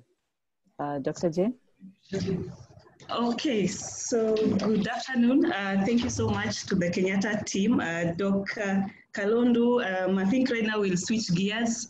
We have had a lot of work. Um, I mean, the previous sessions were more clinical, so we'll go back to, we'll now focus now on, uh, on the insurance sector and uh, more specifically health insurance. So kindly confirm if you can see my slide. yes i can see your slides Okay, fine, thank you. So I'm joined today with uh, Julius uh, from the general business. So he'll take us through briefly on professional indemnity. So uh, I will start with, um, so my presentation will be more on uh, challenges with, sorry, yes, challenges uh, facing medical insurance and more specifically looking at uh, medical insurance claims. So in a nutshell, I'll just give you a brief overview of the health insurance business. Uh, then the next uh, item I'll look at are the challenges. Then I'll also take you through some of the healthcare cost drivers. Uh, I'll also take you through fraud and abuse, one of the, uh, actually one of the main challenge that we experience uh, in the health insurance business. then I'll take you through again what are the policy terms and conditions. And basically for for us as healthcare practitioners and maybe the, the public at large to just know what are the key things that we look at whenever we are looking at now the, the, the insurance claims. So briefly on uh, health insurance. So at the moment, um, based on the IRA data, so 3% of the Kenyans uh, have, uh, have insurance. So this is now all forms of insurance. But now moving specifically to uh, health insurance, so we have only 17% of the Kenyans having some form of uh, prepaid uh, health insurance. So this is data from uh, National Health Accounts 2015. Uh, and uh, unfortunately, out of the 17%, so the biggest chunk of the, uh, the population that's insured, so 88% is covered by NHIF, whilst only 11% is covered now by the private health insurance. Uh, so it's still, um, I mean, it's a, it's a drop in the ocean, uh, bearing, uh, I'm sure some of us know um, are contributing in one way, basically out of pocket spending. So we are having to chip in uh, medical bills here and there, our aunties, our relatives, yeah? So we are still not uh, there. And uh, I think it's one of the main agenda that really the government needs to look at. Like how can we ensure that at least, you know, Kenyans have some form of insurance so that at the end of the day, you know, we are able to, to stop the out of pocket spending that, uh, that is currently happening. Uh, so in terms of the number of insurance companies that are uh, existing in Kenya at the moment, so there are 31. Um, so generally, the business has been growing. Uh, so if you compare 2014 up until now, so in terms of premiums, so premiums is basically the amount of money that people contribute uh, to get uh, health insurance. So in 2014, it was about 25 billion. Uh, so as at 2019, it was about 42.4. So that's basically a 58% increment. But then again, it's still um, uh, what this slide just tells us. It's, I mean, there's still some room uh, for improvement in terms of people getting coverage. Uh, so, but the, the other unfortunate bit is even in spite of the premiums increasing, what we are seeing is, uh, is that the, most of the medical insurance business in Kenya at the moment, they're not profit, uh, they're not making profit. And I will tell you in the subsequent slides why that is happening. So this is just some of the insurance companies that are uh, that uh, you know shared their their financials uh, last year. So, or basically, you can see what is in red. Uh, that, those are some of the insurance companies that uh, you know didn't underwrite a profit. So I'll now dive to the challenges that are uh, facing uh, medical insurance uh, business. And as I, I had uh, alluded before, uh, one of the greatest challenge we are having is, is the low insurance penetration. So as I said before, uh, looking at now the um, basically 17% of Kenyans having, uh, you know, form of insurance. So we still have about 83% of Kenyans who are not insured, yeah? So that is one of the biggest uh, challenge. And uh, if you ask uh, people why that, that is the case, so they will tell you, of course, that your premiums are high. Now looking at now the, the private health insurance, so the premiums are high. So most Kenyans, are, you know, they don't consider insurance as a priority. They would prefer to have that kidogo money that they have and maybe buy a shamba or, you know, uh, use that resources elsewhere. And then the other challenge that we've seen, of course, there is a limited marketing of insurance, especially now in the interior parts uh, of Kenya. And uh, people don't even know what insurance is. So if you're to put it into perspective, like looking at, you know, now looking at uh, our, uh, in the villages, so how many people have even NHIF? I'm sure it's, it's really a handful and convincing that person over there to just uh, you know pay up 500 bob per month for uh, NHIF, you know, it becomes a challenge. So if you're now to tell them to pay, let's say maybe 20,000 a year for a, private medical cover, then you know the, the discussion changes um, uh, at that, yeah. Uh, now, the other, other challenges also which uh, we are facing uh, as a business is, you know, and it's not, a, it's not only a Kenyan issue. So the healthcare costs are increasing. Uh, even globally. So of course we have the, the technology that has come in, you have the advanced procedures, uh, you know, uh, all that at the, at the end of the day, they cost money. And what that does is, so if an insurance company is paying out a lot in terms of, uh, of claims, eventually that cost is going to be passed to the, to the member. And then what that does is, of course, the premiums are going to be too, too, uh, too expensive and you'll find people dropping out uh, of cover. Um, the other biggest challenge I also wanted to mention, and uh, to, I'll speak more of it, is basically fraud and abuse, and uh, really what that does to, to the medical business, and not only in Kenya, uh, even, uh, even globally. Uh, then, of course, uh, the adverse selection, this is basically means that, you know, I get a cover, I get a medical cover because I am sick, so I know maybe uh, maybe I'm, I'm scheduled for a surgery, let's say maybe the next six months. So what I do, I try to get into a private uh, cover so that by the time I'm sick, then the medical, my medical cover kicks in. So that is also one of the challenges that we have. But of course, we have mechanisms in place to ensure that you know we are able to scrutinize uh, these applications. Uh, so then I'll move to I'll, i can skip this slide, um, or maybe I can just br uh, briefly just brush through it. Um, so basically, as I said before, so healthcare costs are increasing, and for you know there is uh, if you are if you are to look at currently the the profile, uh, the uh, disease profile of the population, we are having a lot of um, chronic diseases. So your diabetes, uh, your hypertension, your, your uh, COPD and all that. And what you realize, the costs of managing these diseases are quite high. And uh, of course, even as people age, you know, the more you age, the more you are you are now more propense to now getting ill, and of course, you uh, being on long-term treatment and such. So the whatever we are seeing in the West, unfortunately, it is now it's now becoming a, a reality in Kenya. Um, then more specifically now, looking at now in the healthcare uh, platform, so what are these uh, drivers uh, of cost? So as I mentioned before, the aging population, we have our un unhealthy lifestyle. So people are more and more, they're no longer doing exercises, uh, you know, people are consuming alcohol and, uh, and all that.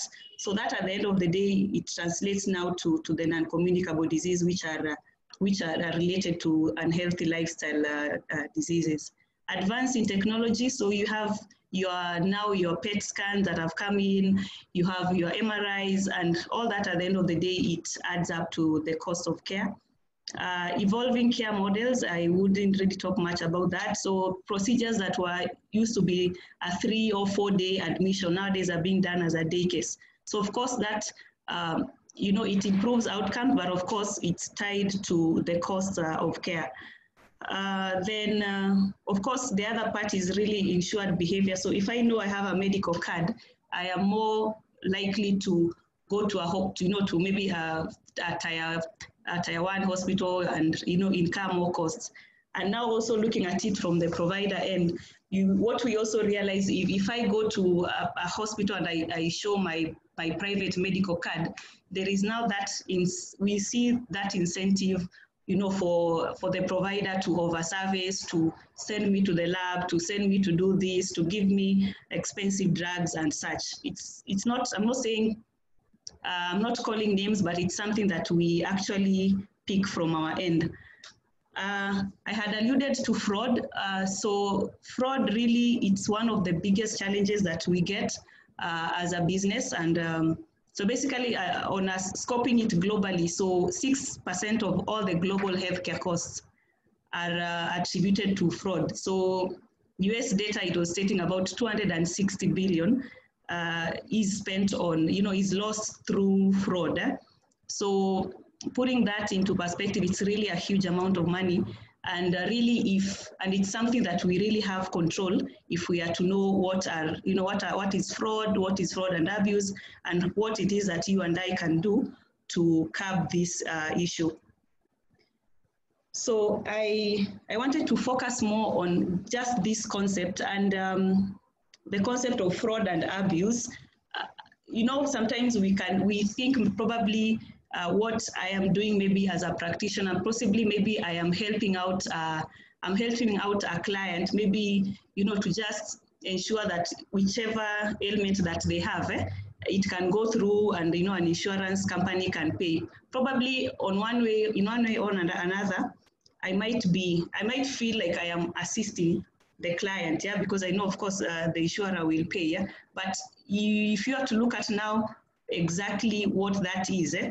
so that exactly is fraud and abuse. Eh? Uh, so putting it in um, a concept, uh, I mean, um, as a concept of fraud, so it means definitely like you're trying to obtain a benefit or uh, advantage related to the operation of uh, insurance scheme. So here you have somebody who, who wants to get to gain an advantage. So this is probably the, the client or you call them the, the patient.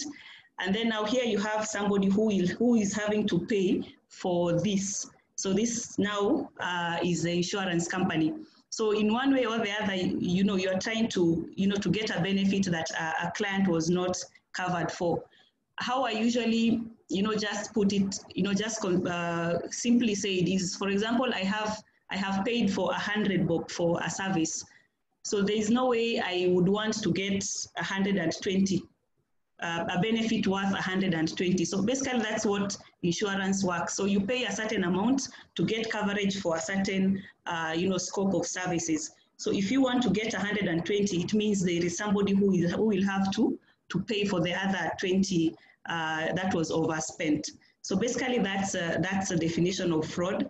Uh, in terms of now abuse, so simply said, it's basically you're, you're practicing, um, you're practicing, whatever you're practicing is really inconsistent uh, with sound physical, business, medical practices, and it unnecessarily results to a cost to the payer.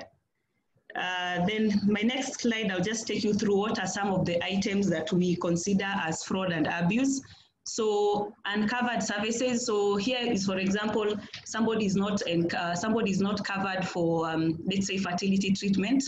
And then what now the healthcare provider is, they maybe give me a diagnosis, uh, which more or less, uh, you know, you try to make the diagnosis to be payable, to appear like, you know, it's payable. And then what that happens is, is then the insurer, if they're not uh, diligent enough, they, you might find that uh, they will pay. So that is uh, uncovered services.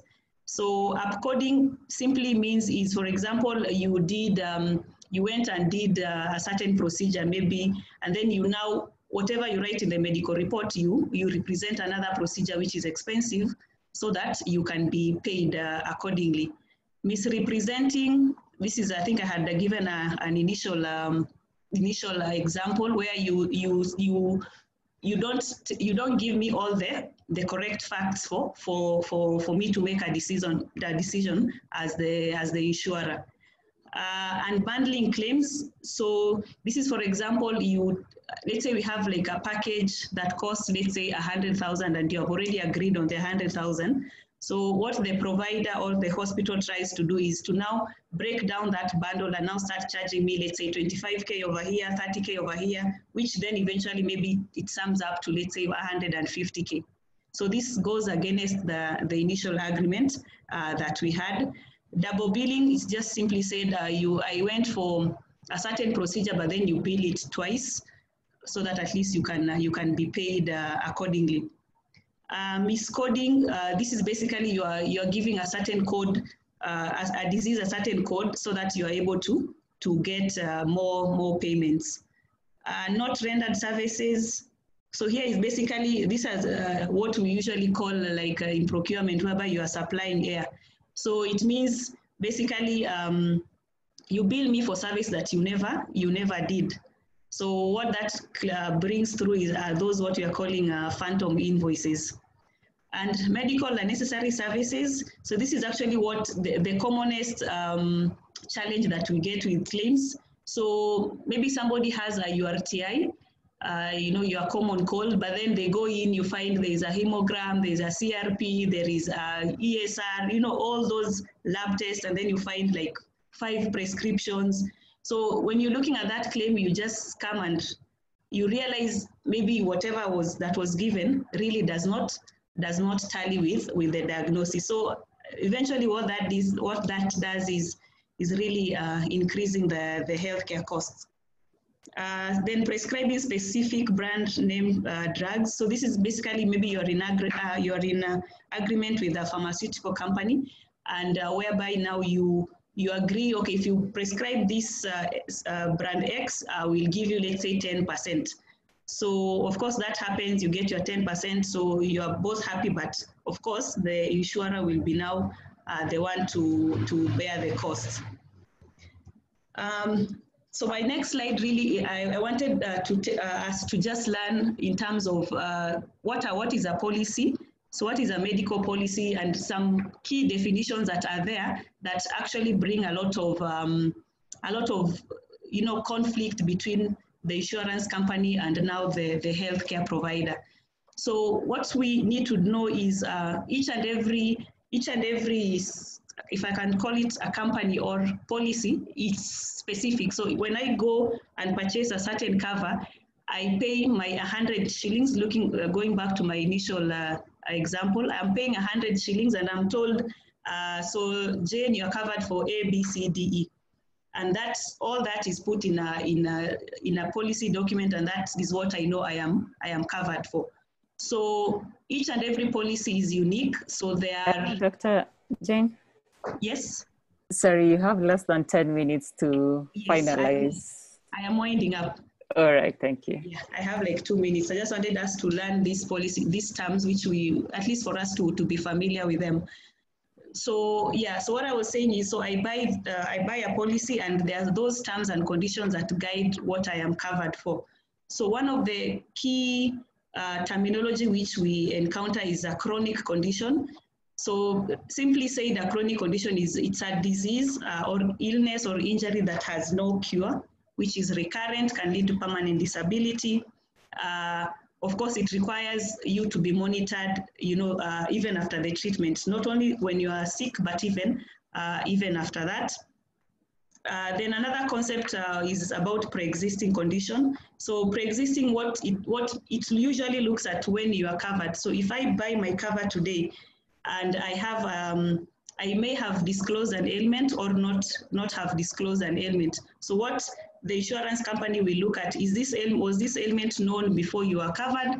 Or was it or was it known after you are covered? So this definition it means um, you can you can have a pre-existing condition even before uh, before you are covered. And what that means is when we are now paying the claim we will pay it to to this uh, benefit uh, that you had. Uh, the last two are basically waiting periods. So whenever you're purchasing your cover, they are usually waiting periods. So you're maybe told uh, for chronic diseases, you have to wait, let's say, for one year, or for maternity, you have to wait for a year. So we have others which, let's say, for cancer, you wait for two years. So it's always good for you to know uh, those waiting periods so that uh, you are, whenever you go to seek services, you, you are also advised on that. Uh, another item is exclusions. So when we look at, um, for medical insurance companies, what they usually look at is they price a risk. So whatever is not priced uh, is usually like now these exclusions. What that means is uh, you're not covered for uh, certain uh, conditions. And this, uh, from their perspective, they usually look at, um, so is there, is there, is there is the ailment, uh, are you able to insure that ailment? Is the ailment self-inflicting, right? Uh, so, and these are some of the exclusions that we don't cover for. So family planning, cosmetic and beauty treatment, genetic testing, STDs, but a bit of a disclaimer. So currently we are having uh, you know, members coming back to us and telling, paying an extra premium for them to be covered. So in as much as there are exclusions, you still have that provision of paying an extra premium for you to, to get the, the, the coverage. Yeah, so that is it from my end. I'm not so sure. Uh, Doc Rhoda, is uh, Julia still there? I want. He had, Uh, Yes, Jane, I'm still there. yes, so maybe you can take maybe one minute to just take the team through the our PI cover and what it entails. Okay, no problem. Well, uh, good afternoon. Uh, first of all, uh, I'll just I'll try to be as brief as possible. Uh, so what happens is uh, a professional indemnity basically it's a liability cover that you normally give for all professions. That includes doctors, lawyers, architects, and all that. So for this specific course, for this specific case, we'll be talking about doctors. So what does a professional indemnity cover? It basically provides compensation for doctors in the events they suffer a financial loss as a result of what the court might actually declare as negligence, errors, or omission in the course of discharging their own duty, which might uh, basically lead to a patient suffering either in, it may be in a form of death or permanent disability. That sort. So what happens is here at Jubilee we have uh, various covers for all medical practitioners, and uh, it's normally depends on uh, the premium is normally dependent on basically the specialty. So in uh, this particular case, the reason why we actually have uh, the reason why we will, uh, we will the reason why it's actually compulsory for doctors who have this particular PI cover it's because I know it's a requirement. It's a, it's a requirement basically for you to get a license. You must have a professional indemnity cover.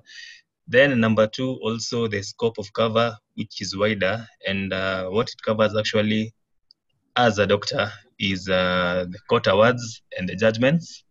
This will be against the doctor, towards the patient or the third party. Fees and expenses, you also cover that. It also covers the defense costs. Yeah, I think uh, what I, I can also add is uh, what happens in this particular cover is uh, it's not limited to Kenya only.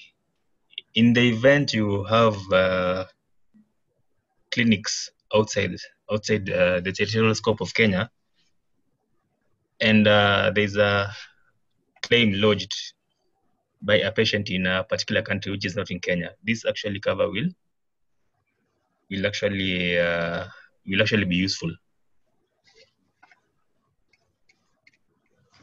Invite any questions?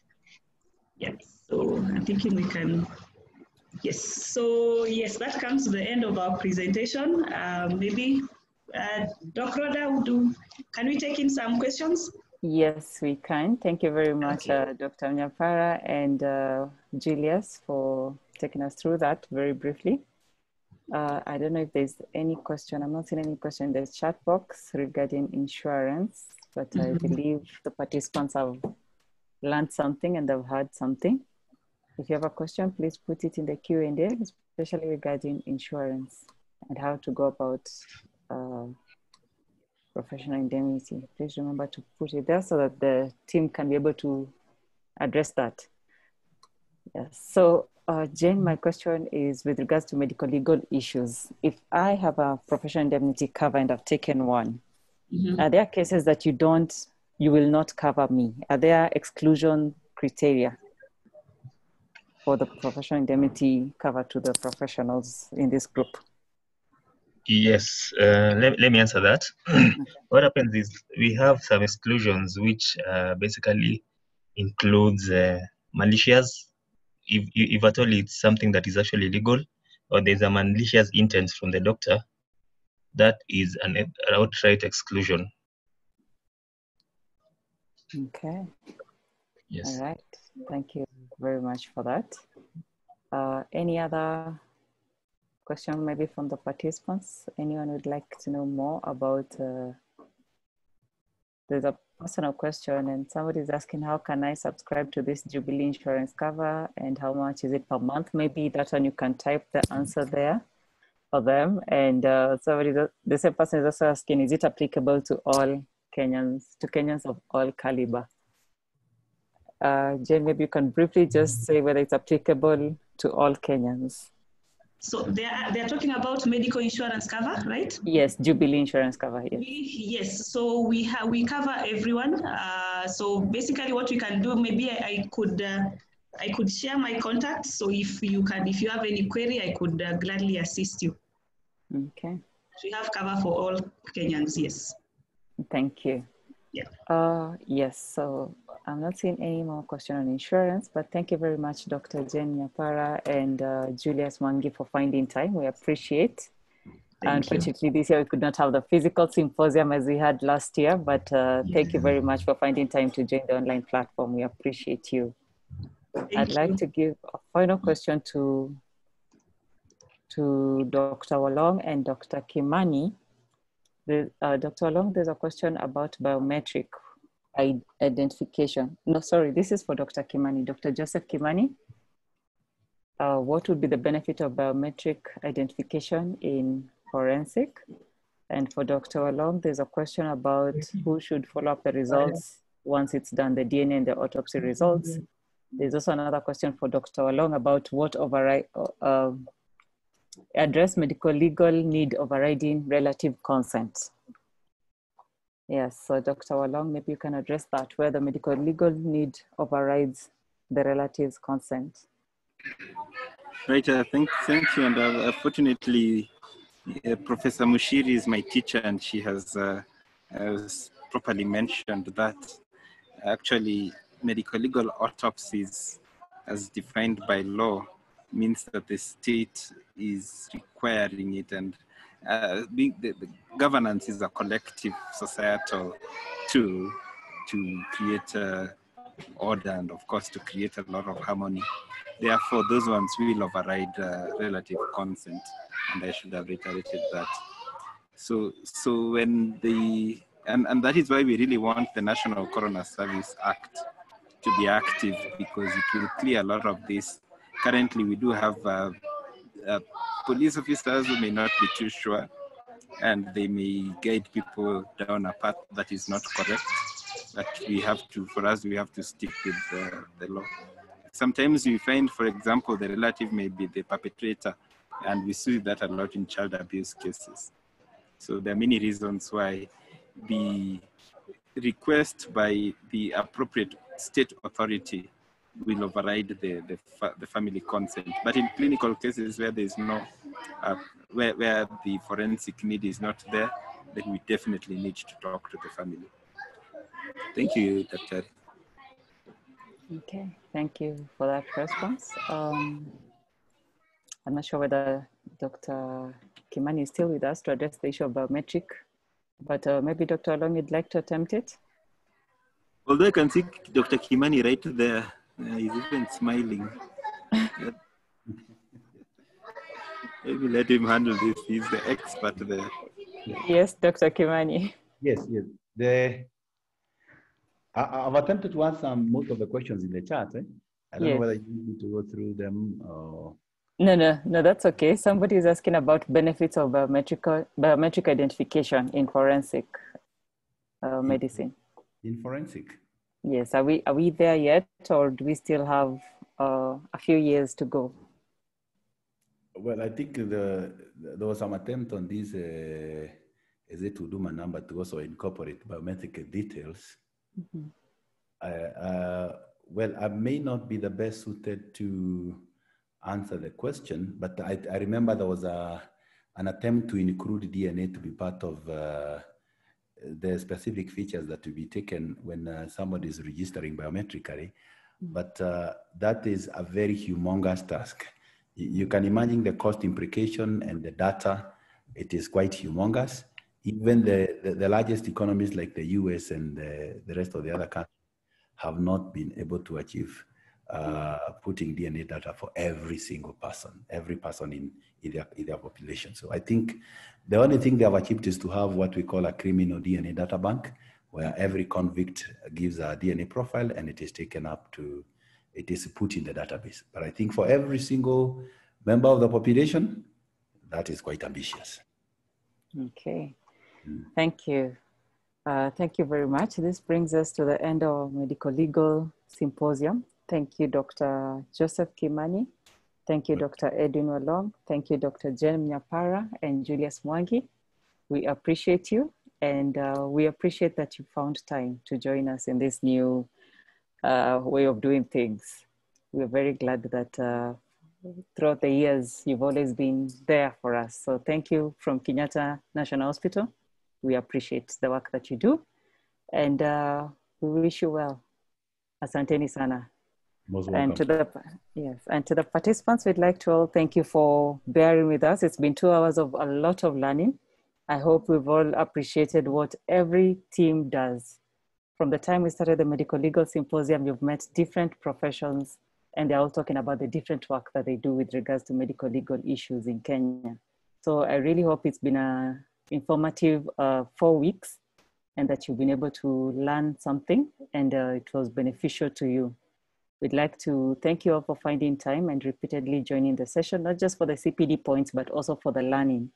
And we're excited that you've been active participants. And uh, we hope when we organize a similar session in future, you'll also turn up for the learning uh, part. So once again, if you're in the county, please remember to advocate to have a pathologist in your area. And uh, another learning point that we learned from Dr. Kimani, if you forget every, anything else, don't forget about the sample collection, the documentation, and also that formalin destroys DNA. So let, let's take the sample first, the DNA sample, before we preserve um, the, the items or the specimen in formalin. And also one thing we also learned uh, from Dr. Kimani is about the issue of the processes to follow due when we are collecting data, especially and the learning points that they've had as a division or as a department. So one of the things we learned is about remains, how to preserve remains, the environmental factors, uh, the command and the command at the scene. Uh, not everybody should be able to make decisions, but we should have one central command and the team, the experts should be let to do the work with the correct PPE. Also the issue of uh, handling emotional relatives, how to do it very well. And also do not put another body where you've just removed another body before cleaning the area and uh, making it uh, DNA free, if there's such a word. And there's the issue of, of resource mobilization and how we handle the media. So thank you very much. Issue of DNA, remember that we were told about blood swabs, how to collect the sample from the finger and the toenails, from the femur, from the molar. So let's be keen wherever we are working in and let's refer patients to the correct experts. Maybe Dr. Kimani, you can tell us where you're located. If anyone wants DNA, I've seen quite a few questions about DNA. Where can people come for DNA testing? Yeah, uh, we are located at the Kenyatta National Hospital grounds, uh, opposite the Sisters Mess past uh, KEMRI and the National Public Health Labs. You'll find Government Chemist uh, Department. We are located within uh, that, that, that facility. And we also have uh, branches in Kisumu and Mombasa, and people can also get their services, uh, similar services from the two branches. Thank you. Thank you very much. Uh, from Dr. Walong, we learned that history is very important. History is very important. We got a very interesting case, or the case, case two, was it case two or case three, about the baby? And the clinical history was missed out, very, a very crucial clinical history was missed out. So clinical history is very important. And uh, it's one of the things that we need to document very well for the pathologist to be able to know what to how to go about the case because some of these cases turn out to be medical legal issues and uh, when you're called to court you're not able to your clinical history does not tie up with the autopsy findings we also learned the importance of having a pathologist in every area every hospital not in the morgue but in every facility up to all levels so we encourage more of the listeners if you're able to join pathology and come and do your masters in pathology karibuni sana. We need more of you out there. Uh, issues of task shifting, we've heard about verbal autopsy. It's not yet, uh, it's, it happens, but it's not uh, uh, liables free.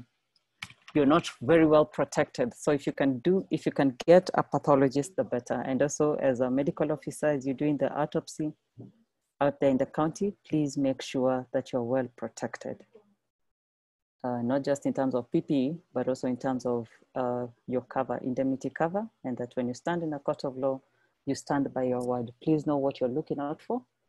Let's not just do uh, a shoddy job without looking properly at the autopsies that we're doing. Uh, from Ms. Dr. Jen Nyapara and uh, Julius, we learned about insurance, reason for poor penetration. We've learned that there are a lot of Kenyans who don't have insurance. Even just an HIF cover is still very poor. And that's one of the things that is a key driver. Finance is a key driver for health. So if we don't have the money to come to hospital, it affects the, your access to care. So we also learned about that. And also we learned about professional indemnity and the importance of it. So I'd like to urge all of us as we renew our indemnity covers to remember to take, uh, as we renew our licenses, to remember to take indemnity cover. So thank you very much. And uh, tomorrow, just an alert, tomorrow our session will be from 10 in the morning to 12 midday. So tomorrow we are celebrating, the world is celebrating the second World Patient Safety Day. And our theme this year is health worker safety, a priority for patient safety. We'll be having uh, different partners and players coming into play to have a conversation about health worker safety tomorrow. So please join us between 10 to 12 p.m. We will not have an afternoon session this is the session that we'll be having and I hope you'll all be able to share the message uh, with your colleagues. If you're not able to join, let your colleague join. Let's hear what is in place by the government with regards to health worker safety. So karibuni sana kesho and uh, have a good afternoon. On Friday, we still have the experience sharing, uh, still same time, 10 to 12. We will be having the experience sharing sessions in managing COVID-19 disease. So we'll be hearing from the experts again about what's going on on the ground. Why are the numbers going down?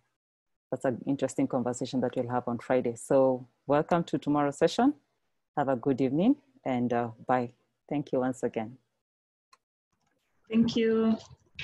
Bye.